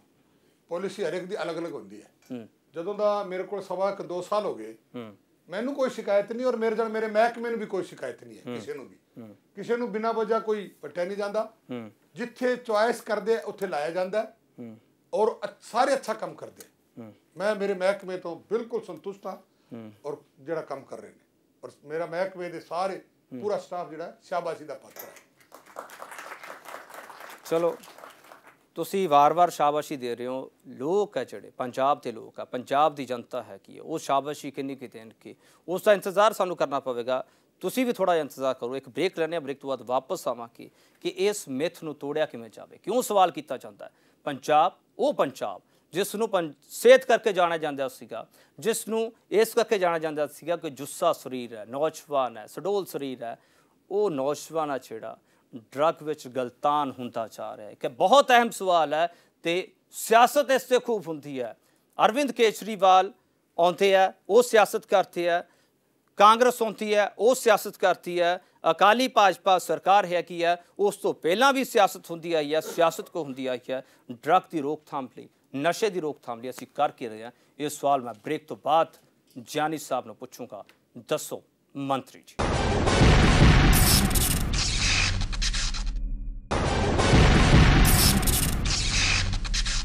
ਬ੍ਰੇਕ ਤੋਂ ਤੁਹਾਡਾ ਸਵਾਗਤ ਹੈ। ਦੱਸੋ ਮੰਤਰੀ ਜੀ ਖਾਸ ਪੇਸ਼ਕਸ਼ ਤੁਸੀਂ ਦੇਖ ਰਹੇ ਹੋ। ਸਰਜੀਤ ਕੁਮਾਰ ਚਿਆਨੀ ਸਾਡੇ ਨਾਲ ਹੈ ਕਿ ਹੈ ਉਹਨਾਂ ਨੇ ਕਈ ਸਵਾਲਾਂ ਦੇ ਜਵਾਬ ਦਿੱਤੇ ਹੈ ਕਿ ਹੈ ਕਈਆਂ ਨੂੰ ਗੋਲਮੋਲ ਕਰਨ ਦੀ ਕੋਸ਼ਿਸ਼ ਕੀਤੀ ਹੈ ਕਿ ਉਹ ਫੈਸਲਾ ਤੁਸੀਂ ਕਰਨਾ ਕਿ ਇਹਨਾਂ ਨੂੰ ਗੋਲਮੋਲ ਕੀਤਾ ਹੈਗਾ ਉਹਨਾਂ ਨੇ।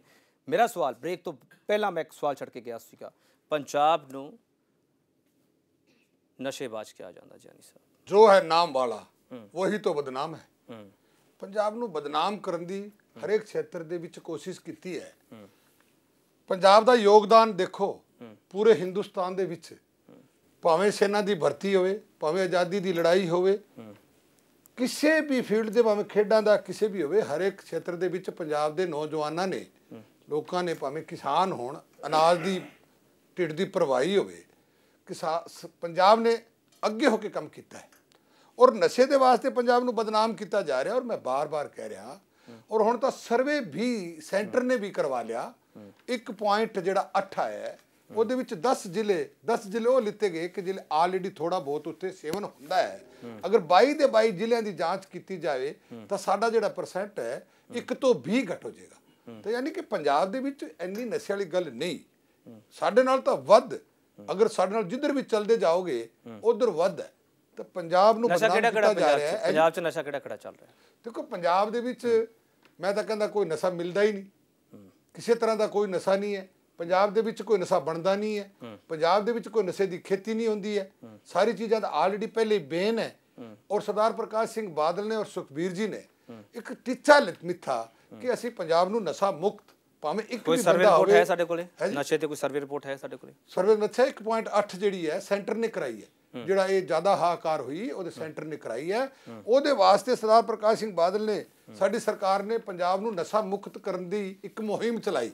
ਉਹਦੇ ਵਿੱਚ ਭਾਵੇਂ ਕਿਸੇ ਤਰ੍ਹਾਂ ਦਾ ਹੈ ਭਾਵੇਂ ਡਰੱਗ ਚ ਸੀ ਭਾਵੇਂ ਕੋਈ ਸਮੈਕ ਸੀ ਹੈਰੋਨ ਸੀ ਅਸੀਂ ਸਖਤੀ ਕੀਤੀ।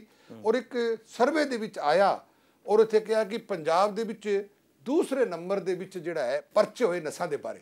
ਪਰਚਾ ਤਾਂ ਅਗਰ ਸਰਕਾਰ ਚਾਹੁੰਦੀ ਹੈ ਇਹ ਚੀਜ਼ ਟੀਚਾ ਲੈ ਕੇ ਚੱਲੀ ਹੈ ਪੰਜਾਬ ਦੀ ਪੁਲਿਸ ਕੰਮ ਕਰਦੀ ਹੈ ਕਿ ਅਸੀਂ ਨਸ਼ਾ ਮੁਕਤ ਬਣਾਉਣਾ ਹੈ। ਸਾਨੂੰ ਜੋ ਵੀ ਟਕਰਿਆ ਉਹਨੂੰ ਅਸੀਂ ਉਹਦੇ ਤੇ ਅਸੀਂ ਪਰਚੇ ਕੀਤੇ ਹੈ, ਅੰਦਰ ਕੀਤੇ ਹੈ ਤਾਂ ਕਿ ਅਸੀਂ ਨਸ਼ਾ ਮੁਕਤ ਕਰਕੇ ਰਹੀਏ ਤਾਂ ਇਸ ਕਰਕੇ ਪੰਜਾਬ ਦੇ ਨੂੰ ਬਦਨਾਮ ਕੀਤਾ ਜਾ ਰਿਹਾ ਔਰ ਬਾਦ ਸਾਹਿਬ ਦੀ ਸੋਚ ਅਗਰ ਇੱਕ ਵੀ ਬੰਦਾ ਕੋਈ ਨਸ਼ਾ ਕਰਦਾ ਹੈ ਉਹਨੂੰ ਛੱਡਣ ਵਾਸਤੇ ਇੰਨੀ ਸੁੱਖ ਸੁਵਿਧਾ ਦਿਓ ਕਿ ਉਹ ਆ ਮਹਿਸੂਸ ਨਾ ਕਰੇ ਕਿ ਮੈਂ ਜਿਹੜੀ ਜਾਨੀ ਸਾਹਿਬ ਜਿਹੜੀ। ਜਿਹੜੀ ਸੁਵਿਧਾ ਤੁਸੀਂ ਦਿੱਤੀ ਜਿਹੜੀ ਸੁਵਿਧਾ ਤੁਸੀਂ ਦਿੱਤੀ ਹੈ ਕੀ ਹੈ ਜਿਹੜੇ ਤੁਸੀਂ ਡੀ ਐਡਿਕਸ਼ਨ ਸੈਂਟਰ ਖੋਲੇ ਹੈ ਕੀ ਹੈ ਜੇ ਉੱਥੋਂ ਪਿੰਡ ਦਾ ਕੋਈ ਨੌਜਵਾਨ ਉੱਥੇ ਚਲਾ ਜਾਂਦਾ ਹੈਗਾ ਉਸ ਤੋਂ ਬਾਅਦ ਉਸ ਨੂੰ ਇਸ ਤਰੀਕੇ ਨਾਲ ਦੇਖਿਆ ਜਾਂਦਾ ਪਤਾ ਨਹੀਂ ਕਿਹੜੀ ਜੇਲ੍ਹ ਕੱਟ ਕੇ ਆਇਆ ਉਹ ਮੈਂ ਨਹੀਂ ਦੇਖਿਆ ਮੈਂ ਤਾਂ ਦੇਖੋ ਤੁਸੀਂ ਤਾਂ ਕਰ ਦਿਓ ਕਮਰੇ 'ਚ ਗੱਲ। ਪਰ ਮੈਂ ਕਰਦਾ ਫੀਲਡ ਦੀ ਗੱਲ। ਜਾਨੀ ਸਾਹਿਬ ਜਾਨੀ ਸਾਹਿਬ ਜਾਨੀ ਸਾਹਿਬ ਜਾਨੀ ਸਾਹਿਬ ਤੁਹਾਡੇ ਜਾਨੀ ਸਾਹਿਬ ਤੁਹਾਡੇ। ਤੁਹਾਡੇ ਸਾਰੇ ਤੁਹਾਡੇ ਸਾਰੇ ਪਹਿਲਾਂ ਗੱਲ ਮੇਰੀ ਇਲਜ਼ਾਮ ਸੁਣ ਲਿਓ। ਤੁਸੀਂ ਜਿਹੜੀ ਚੀਜ਼ਾਂ ਡਿਨਾਈ ਕਰ ਰਹੇ ਹੋ ਉਹ ਸਾਰੀਆਂ ਚੀਜ਼ਾਂ ਅਸੀਂ ਮੰਨਣ ਨੂੰ ਤਿਆਰ ਹੈਗੇ ਪਰ ਤੁਸੀਂ ਇਹ ਨਹੀਂ ਕਹਿ ਰਹੇ ਗਰਾਊਂਡ ਰਿਪੋਰਟ ਸਾਨੂੰ ਨਹੀਂ ਪਤਾ ਹੈ ਕੀ ਜਾਨੀ ਸਾਹਿਬ ਤੁਸੀਂ ਤਾਂ ਕਹਿੰਦੇ ਹੋ ਸ਼ਰਾਬ ਨਸ਼ਾ ਨਹੀਂ ਹੈਗੀ। ਹਾਂ ਇੱਥੇ ਆ ਜਾਓ। ਗੱਲ ਤਾਂ ਆਈ ਨਾ ਹਾਂ। ਆਨੇ ਵਾਲੀ ਥਾਂ ਤੇ। ਪਹਿਲੀ ਗੱਲ ਅਗਰ ਕੋਈ ਮੈਨੂੰ ਪੁੱਛੇ ਕਿ ਸਭ ਤੋਂ ਗੰਦੀ ਚੀਜ਼ ਕੀ ਹੈ ਤਾਂ ਮੈਂ ਕਹਾਂਗਾ ਸ਼ਰਾਬ। ਠੀਕ ਹੈ ਜੀ? ਮੈਂ ਨਹੀਂ ਕਿਹਾ ਕਿ ਸ਼ਰਾਬ 'ਚ ਨਸ਼ਾ ਨਹੀਂ ਹੈ। ਸ਼ਰਾਬ ਸਾਰੀ ਰਾਂਦ ਔਰ ਫਸਾਦ ਔਰ ਲੜਾਈ ਗੰਦੇ ਕੰਮਾਂ ਦੀ ਜੜ ਅਗਰ ਕੋਈ ਮੂਲ ਜੜ ਹੈ ਉਹ ਹੈ ਸ਼ਰਾਬ। ਠੀਕ ਹੈ ਜੀ? ਪਰ ਮੈਂ ਕਿਹਾ ਵੀ ਸ਼ਰਾਬ ਨੂੰ ਨਸ਼ੇ 'ਚ ਗਿਣਤੀ 'ਚ ਨਾ ਲਿਓ ਬੰਦਿਆਂ ਨੂੰ। ਕਿਉਂਕਿ ਜਦੋਂ ਤੱਕ ਠੇਕੇ ਹੈ ਆਮ ਮਿਲਦੀ ਹੈ ਸਰਕਾਰਾਂ ਲਾਇਸੈਂਸ ਸਾਹਿਬ ਇਹ ਤਾਂ ਇਹ ਤਾਂ ਇਹ ਤਾਂ ਕੋਈ ਗੱਲ ਨਾ ਹੋਗੀ ਕਿ ਜਿਸ ਤੇ ਸਰਕਾਰ ਦੀ ਮੋਹਰ ਲੱਗੀ ਤੇ ਉਹ ਸਾਰੀਆਂ ਚੀਜ਼ਾਂ ਦਰੁਸਤ ਹੋ ਗਈਆਂ। ਦੇਖੋ ਗੱਲ ਮੇਰੀ ਸੁਣੋ। ਸ਼ਰਾਬ ਇੱਕ ਇਹਨੂੰ ਜਾਂ ਤਾਂ ਬਿਲਕੁਲ ਆਪਾਂ ਬੈਨ ਕਰ ਦਈਏ। ਜਾਨੀ ਸਾਹਿਬ ਜਾਨੀ ਸਾਹਿਬ ਮੈਂ ਸ਼ਰਾਬ ਨਹੀਂ ਦੇ- ਪੀਂਦਾਗਾ ਤੁਹਾਡੇ ਮੁਤਾਬਕ ਅੱਜ ਤੋਂ ਮੈਂ ਸ਼ਰਾਬ ਸ਼ੁਰੂ ਕਰ ਦੇਵਾਂ ਫਿਰ? ਕਿਉਂ? ਹੋ? ਜੇ ਸ਼ਰਾਬ ਨਸ਼ਾ ਨਹੀਂ ਮੈਂ ਨਹੀਂ ਪੀਂਦਾ। ਮੈਂ ਨਹੀਂ ਪੀਂਦਾ ਮੇਰਾ ਪਿਓ ਨਹੀਂ ਪੀਂਦਾ। ਮੁੰਡਿਆਂ ਦਾ ਮੈਂ ਕਹਿੰਦਾ ਫਿਰ ਤੁਸੀਂ ਦੂਜਿਆਂ ਨੂੰ ਕਿਉਂ ਚਾਹੁੰਦੇ ਹੋ ਪੀਣ? ਜਾਨੀ ਸਾਹਿਬ ਫਿਰ ਤੁਸੀਂ ਦੂਜਿਆਂ ਨੂੰ ਕਿਉਂ ਚਾਹੁੰਦੇ ਹੋ ਪੀਣ? ਕਿਉਂ ਮੈਂ ਕਦੋਂ ਕਹਿੰਦਾ ਪੀਓ? ਮੈਂ ਤੁਹਾਨੂੰ ਇੱਕ ਗੱਲ ਕਹੀ ਹੈ ਉਹ ਮੇਰੀ ਗੱਲ ਸੁਣੋ। ਜਾਨੀ ਸਾਹਿਬ ਤੁਸੀਂ ਇੱਕ ਗੱਲ ਸੁਣੋ। ਤੁਸੀਂ ਇੱਕ ਮੰ- ਮੈਂ ਇੱਕ ਮੰਤਰੀ ਗੱਲ ਹੋ। ਕਹੀ ਹੈ ਤੁਹਾਨੂੰ। ਜਾਨੀ ਸਾਹਿਬ ਤੁਸੀਂ ਮੰਤਰੀ ਹੋ। ਲੋਕ ਮੇਰੀ ਗੱਲ ਤੁਹਾਨੂੰ ਸੁਣੀ? ਮੰਨਦੇ ਹੈ ਕਿ ਤੁਸੀਂ ਸਿਆਸਤ ਦਾ ਸ਼ਬਦ ਤੁਸੀਂ ਗੱਲ ਮੇਰੀ ਸੁਣੀ। ਨਹੀਂ। ਮੈਂ ਤੁਹਾਨੂੰ ਕਿਹਾ ਵੀ ਸਭ ਤੋਂ ਬੁਰੀ ਚੀਜ਼ ਹੈ ਉੱਥੋਂ ਸ਼ਰਾਬ ਹੈ। ਸਭ ਤੋਂ ਰਾਂਦ ਦੀ ਜੜ ਪ੍ਰਸਾਦ ਲੜਾਈ ਝਗੜਾ ਗੰਦੇ ਕੰਮ ਦਾ ਰਿਜ਼ਲਟ ਸ਼ਰਾਬ ਹੈ। ਮੈਂ ਕਹੀ ਜਾਣਾ ਮੈਂ ਕਦੋਂ ਸ਼ਰਾਬ ਦੀ ਪ੍ਰਸ਼ੰਸਾ ਕੀਤੀ ਹੈ? ਮੈਂ ਤਾਂ ਇਹ ਕਿਹਾ ਕਿ ਦੂਸਰੇ ਜਿਹੜਾ ਇੱਥੇ ਤੁਸੀਂ ਕੇਜਰੀਵਾਲ ਦੀ ਗੱਲ ਕਹੀ ਕੁਝ ਹੋਰ ਆਂਦਾ ਹੈ? 90% ਪੰਜਾਬ ਨਸ਼ੇੜੀ ਹੋ ਗਿਆ 80% ਪੰਜਾਬ ਨਸ਼ੇੜੀ ਹੋ ਗਿਆ। ਜਾਨੀ ਸਾਹਿਬ ਜਾਨੀ ਸਾਹਿਬ ਸ਼ਰਾਬ ਜਾਨੀ ਸਾਹਿਬ ਨਸ਼ੇ ਨਸ਼ੇ ਕਿਉਂ ਕਰਦੇ ਆ ਨੌਜਵਾਨ? ਇਹ ਸਵਾਲ ਬਹੁਤ ਅਹਿਮ ਹੈਗਾ। ਪਰ ਸਵਾਲ ਇਹ ਵੀ ਹੈਗਾ ਕਿ ਪੰਜਾਬ ਦੇ ਵਿੱਚ ਤਣਾਅ ਬਹੁਤ ਜ਼ਿਆਦਾ ਹੈਗਾ। ਤਣਾਅ ਨੂੰ ਕੰਟਰੋਲ ਕਰਨ ਲਈ ਤੁਸੀਂ ਕੀ ਕਰ ਪੰਜਾਬ ਦੇ ਵਿੱਚ ਤਣਾਅ ਦੇਖੋ ਤਣਾਅ ਕੋਈ ਪੰਜਾਬ 'ਚ ਨਹੀਂ ਹੈ। ਪੰਜਾਬ ਤਣਾਅ ਅੱਜ ਆਮ ਆਵਾਮ 'ਚ ਹੈ। ਹਰੇਕ ਇਨਸਾਨ ਦੇ ਵਿੱਚ ਹੈ। ਮਸ਼ੀਨਰੀ ਯੁੱਗ ਹੈ। ਜਾਨੀ ਸਾਹਿਬ ਮੇਰਾ ਸਵਾਲ ਇਹ ਹੈ ਕਿ। ਪੰਜਾਬ ਵਿੱਚ ਇਹ ਤਣਾਅ ਹੈਗਾ ਸਿਹਤ। ਮਹਿਕਮਾ ਕੀ ਕਰ ਰਿਹਾ ਹੈ? ਉਸ ਲਈ ਮਨੋਰੋਗ ਵਿਭਾਗ ਚਾਹੀਦਾ ਹੈ ਸਕੈਟ੍ਰਿਕਸ ਚਾਹੀਦੇ ਤੁਹਾਡੇ ਕੋਲ ਕਿੰਨੇ ਹੈਗੇ ਆ? ਦੱਸੋ ਮੈਨੂੰ। ਸਾਡੇ ਕੋਲ ਸਭ ਕੁਝ ਬੰਦੋਬਸਤ ਪੂਰਾ ਹੈ। ਕਿਸੇ ਤਰ੍ਹਾਂ ਦੀ ਕੋਈ ਕਮੀ ਨਹੀਂ ਹੈ। ਠੀਕ ਹੈ ਤੁਹਾਡੇ ਵੱਲੋਂ ਕੋਈ ਕਮੀ ਨਹੀਂ ਪੰਜਾਬ 'ਚ ਇੰਨੀ ਹੈ ਕਿੰਨੇ ਜਿੰਨੀ ਕਿੰਨੇ ਤੁਸੀਂ ਮਨੋਰੋਗ ਦਿਖਾ ਰਹੇ ਵਿਭਾਗ ਹੋ। ਦੇ ਕਿੰਨੇ ਡਾਕਟਰ ਹੈਗੇ ਤੁਹਾਡੇ ਕੋਲ? ਸਾਡੇ ਮਤਲਬ ਤਕਰੀਬਨ ਆਪਣਾ 35 ਦੇ ਆਪਣਾ ਸੈਕਟਰਿਸਟ ਹੈਗੇ। ਸੈਕਟਰਿਸਟ ਤੋਂ ਇਲਾਵਾ ਅਸੀਂ 219 ਡਾਕਟਰ ਐਮਬੀਬੀਐਸ ਟ੍ਰੇਨਡ ਕੀਤੇ ਨੇ। ਤਾਂ ਜੋ ਉਹ ਵੱਖ-ਵੱਖ ਰੀਹੈਬ ਸੈਂਟਰਾਂ ਤੇ ਡੀ ਐਡਿਕਸ਼ਨ ਸੈਂਟਰਾਂ ਦੇ ਵਿੱਚ ਆਪਣਾ ਕੰਮ ਕਰ ਸਕਣ। ਇਸ ਤੋਂ ਇਲਾਵਾ ਸੈਕੈਟ੍ਰਿਕ ਸੋਸ਼ਲ ਵਰਕਰ ਤੇ ਆਪਣਾ ਵਾਰਡ ਬॉयਜ਼ ਕਾਉਂਸਲਰਸ ਤੇ ਮੇਲ ਸਟਾਫ ਨਰਸਸ ਇਹ ਅਸੀਂ ਆਪਣਾ ਜਿੰਨੇ ਸਾਡੇ ਤੁਹਾਡੇ ਮੁਤਾਬਕ ਸਾਰੇ ਪੂਰੇ। ਮਨੋਰੋਗ ਵਿਭਾਗ ਫਿੱਟ ਪੰਜਾਬ ਦੇਖੋ ਗੱਲ ਇਹ ਹੈ ਵੀ ਜੇ ਅਸੀਂ ਮਨੋਰੋਗ ਵਿਭਾਗ ਦੇ ਨਾਲ ਸੋਚਾਂਗੇ ਕਿ ਸਮੱਸਿਆ ਜੋ ਤੁਸੀਂ ਪਹਿਲਾਂ ਸਵਾਲ ਕਰਿਆ ਮੈਂ ਉਸ ਵੱਲ ਆਣਾ ਵਿਭਾਗ ਆਪਦੇ ਲੈਵਲ ਤੇ ਯਤਨ ਕਰਦਾ ਹੈ।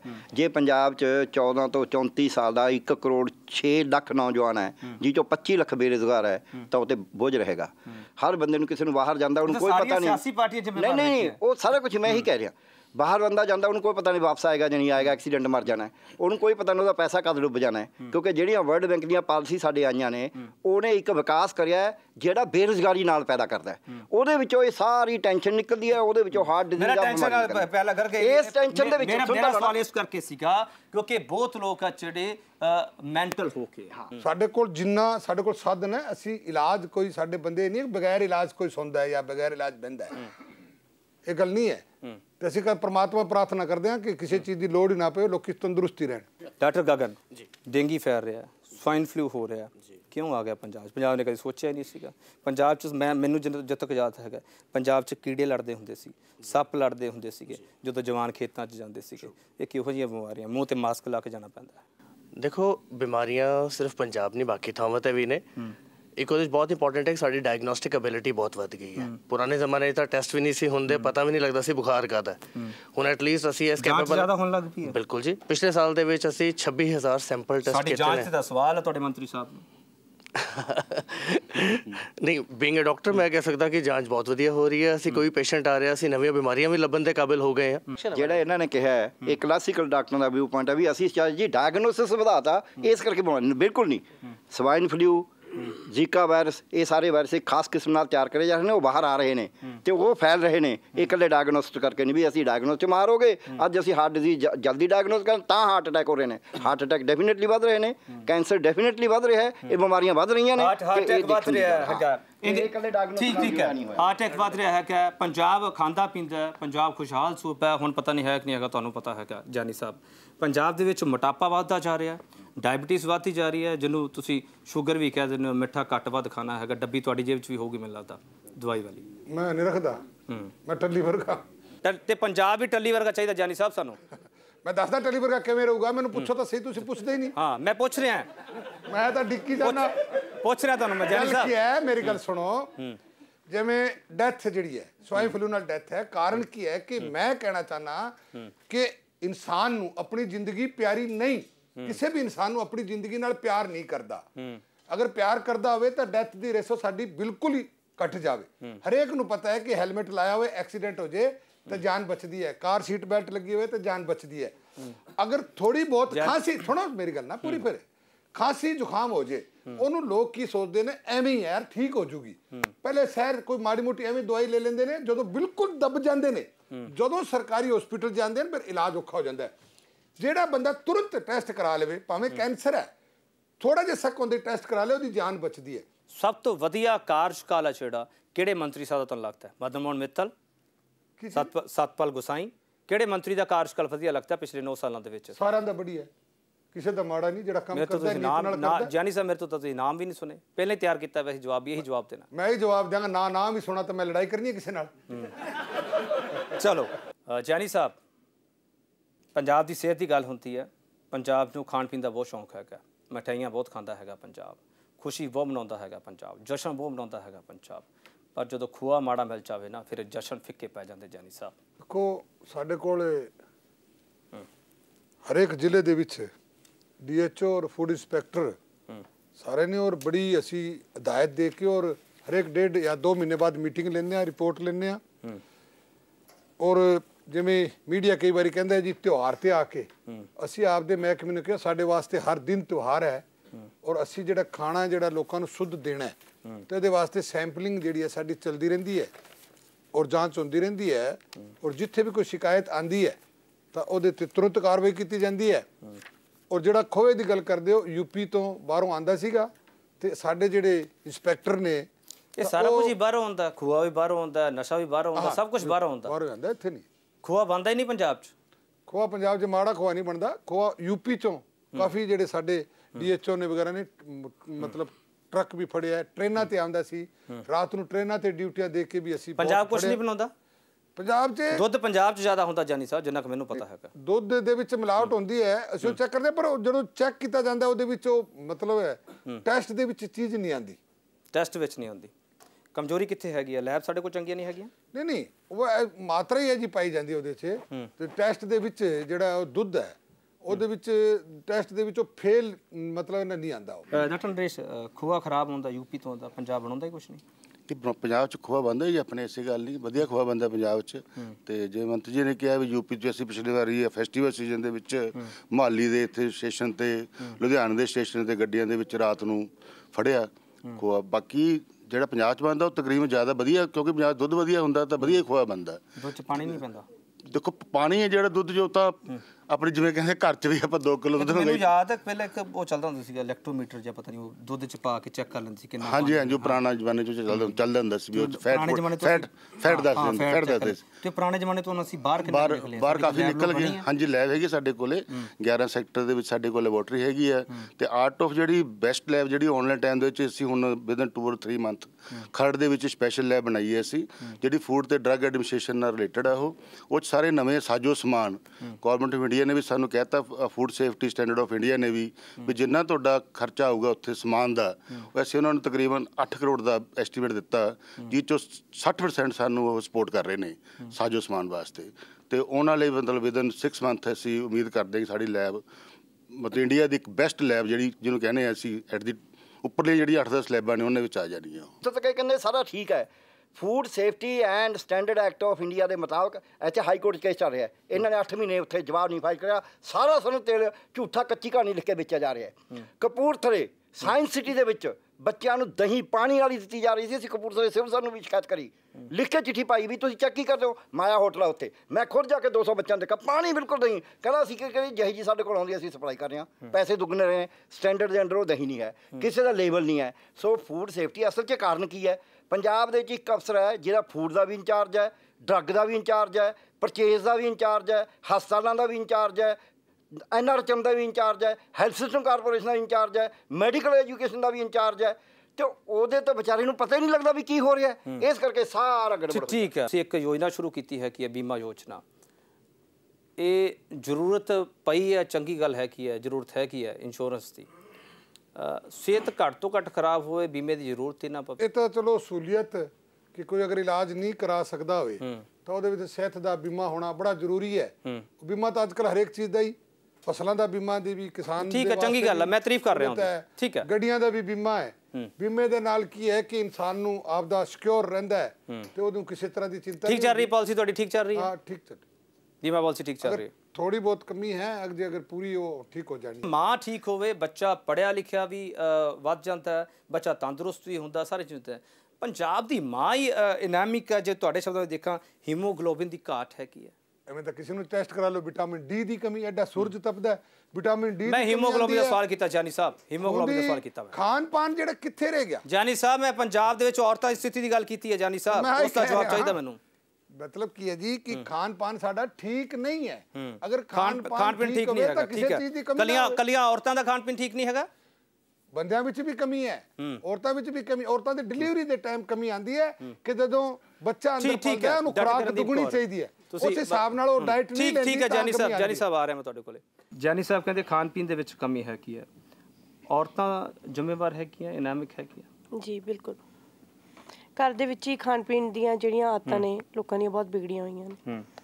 ਤੇ ਉਹਦੇ ਕਰਕੇ ਜਿਹੜੀਆਂ ਪ੍ਰੈਗਨੈਂਟ ਲੇਡੀਜ਼ ਜਾਂ ਨਾਨ ਪ੍ਰੈਗਨੈਂਟ ਲੇਡੀਜ਼ ਉਹਨਾਂ ਦੇ ਵਿੱਚ ਅਨੀਮੀਆ ਕਾਫੀ ਕਿੰਨਾ ਕੁ, ਮਾਤਰਾ ਅ, ਕਿੰਨਾ ਹੀਮੋਗਲੋਬਿਨ ਹੁੰਦਾ ਜਦੋਂ ਤੁਹਾਡੇ ਕੋਲੇ ਕੋਈ ਲੇਡੀ ਆਉਂਦੀ ਹੈ ਪ੍ਰੈਗਨੈਂਟ ਲੇਡੀ ਆਉਂਦੀ ਹੈ?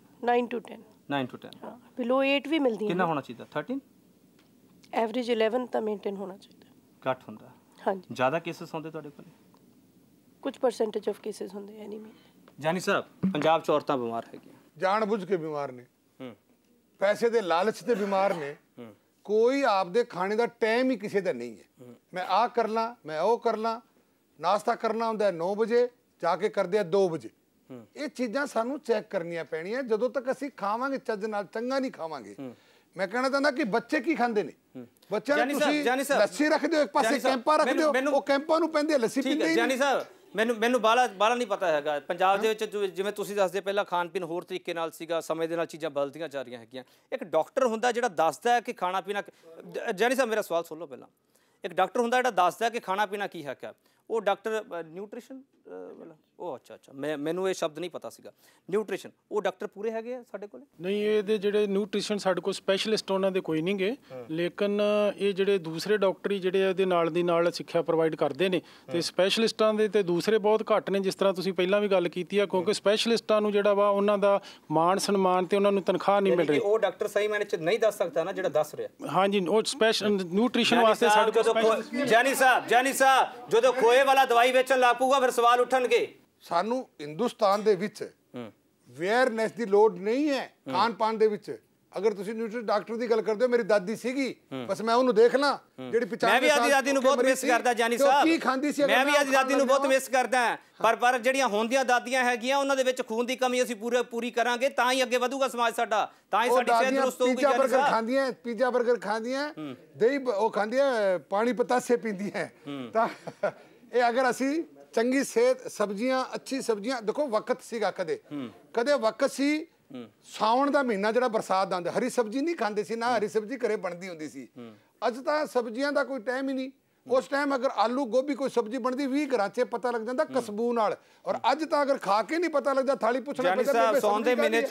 ਜਾਨੀ? ਸਾਹਿਬ ਠੀਕ ਹੈ ਸੌਣ ਦੇ ਮਹੀਨੇ ਚ ਗੁਲਗੁਲੇ ਵੀ ਬਣਦੇ ਰਹੇ ਆ। ਪੂੜੇ ਵੀ ਬਣਦੇ ਰਹੇ ਆ ਸਭ ਕੁਝ ਹੁੰਦਾ ਰਿਹਾ। ਅੱਜ ਉਹੀ ਗੁਲਗੁਲੇ। ਬਣ ਲੱਗ ਜਾਣ ਤਾਂ ਲੋਕਾਂ ਦੇ ਖੂਨ ਦੀ ਕਮੀ ਵੀ ਨਾ ਰਵੇ। ਔਰ ਲੋਕਾਂ ਨੂੰ ਟੈਨਸ਼ਨ ਵੀ ਨਾ ਹੋਵੇ ਜੋ ਸਾਡੇ ਗੁਰੂਆਂ ਨੇ ਕਿਹਾ ਜੋ ਸਾਡੇ ਧਰਮ ਸਿਖਾਉਂਦਾ ਅਸੀਂ ਉਹਦੇ ਤੇ ਚੱਲ ਲਈਏ ਨਾ ਤਾਂ ਕੋਈ ਪ੍ਰੋਬਲਮ ਨਾ ਹੋਵੇ ਹੂੰ। ਸਾਰਾ ਸਿਹਤ ਮਹਿਕਮਾ ਗੁਰੂ- ਗੁਰੂਆਂ ਦੇ ਹਵਾਲੇ ਆ।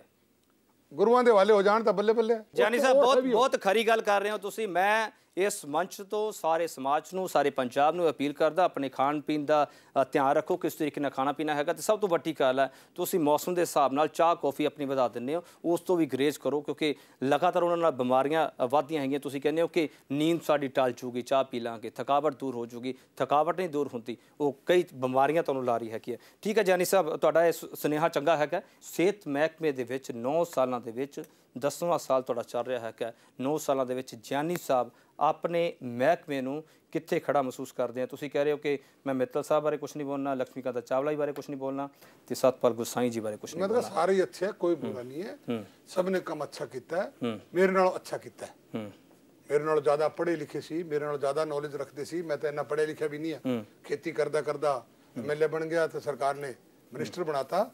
ਸਭ ਅੱਛੇ ਸੀਗੇ ਅੱਛਾ ਕੰਮ ਕਰਦੇ ਸੀ।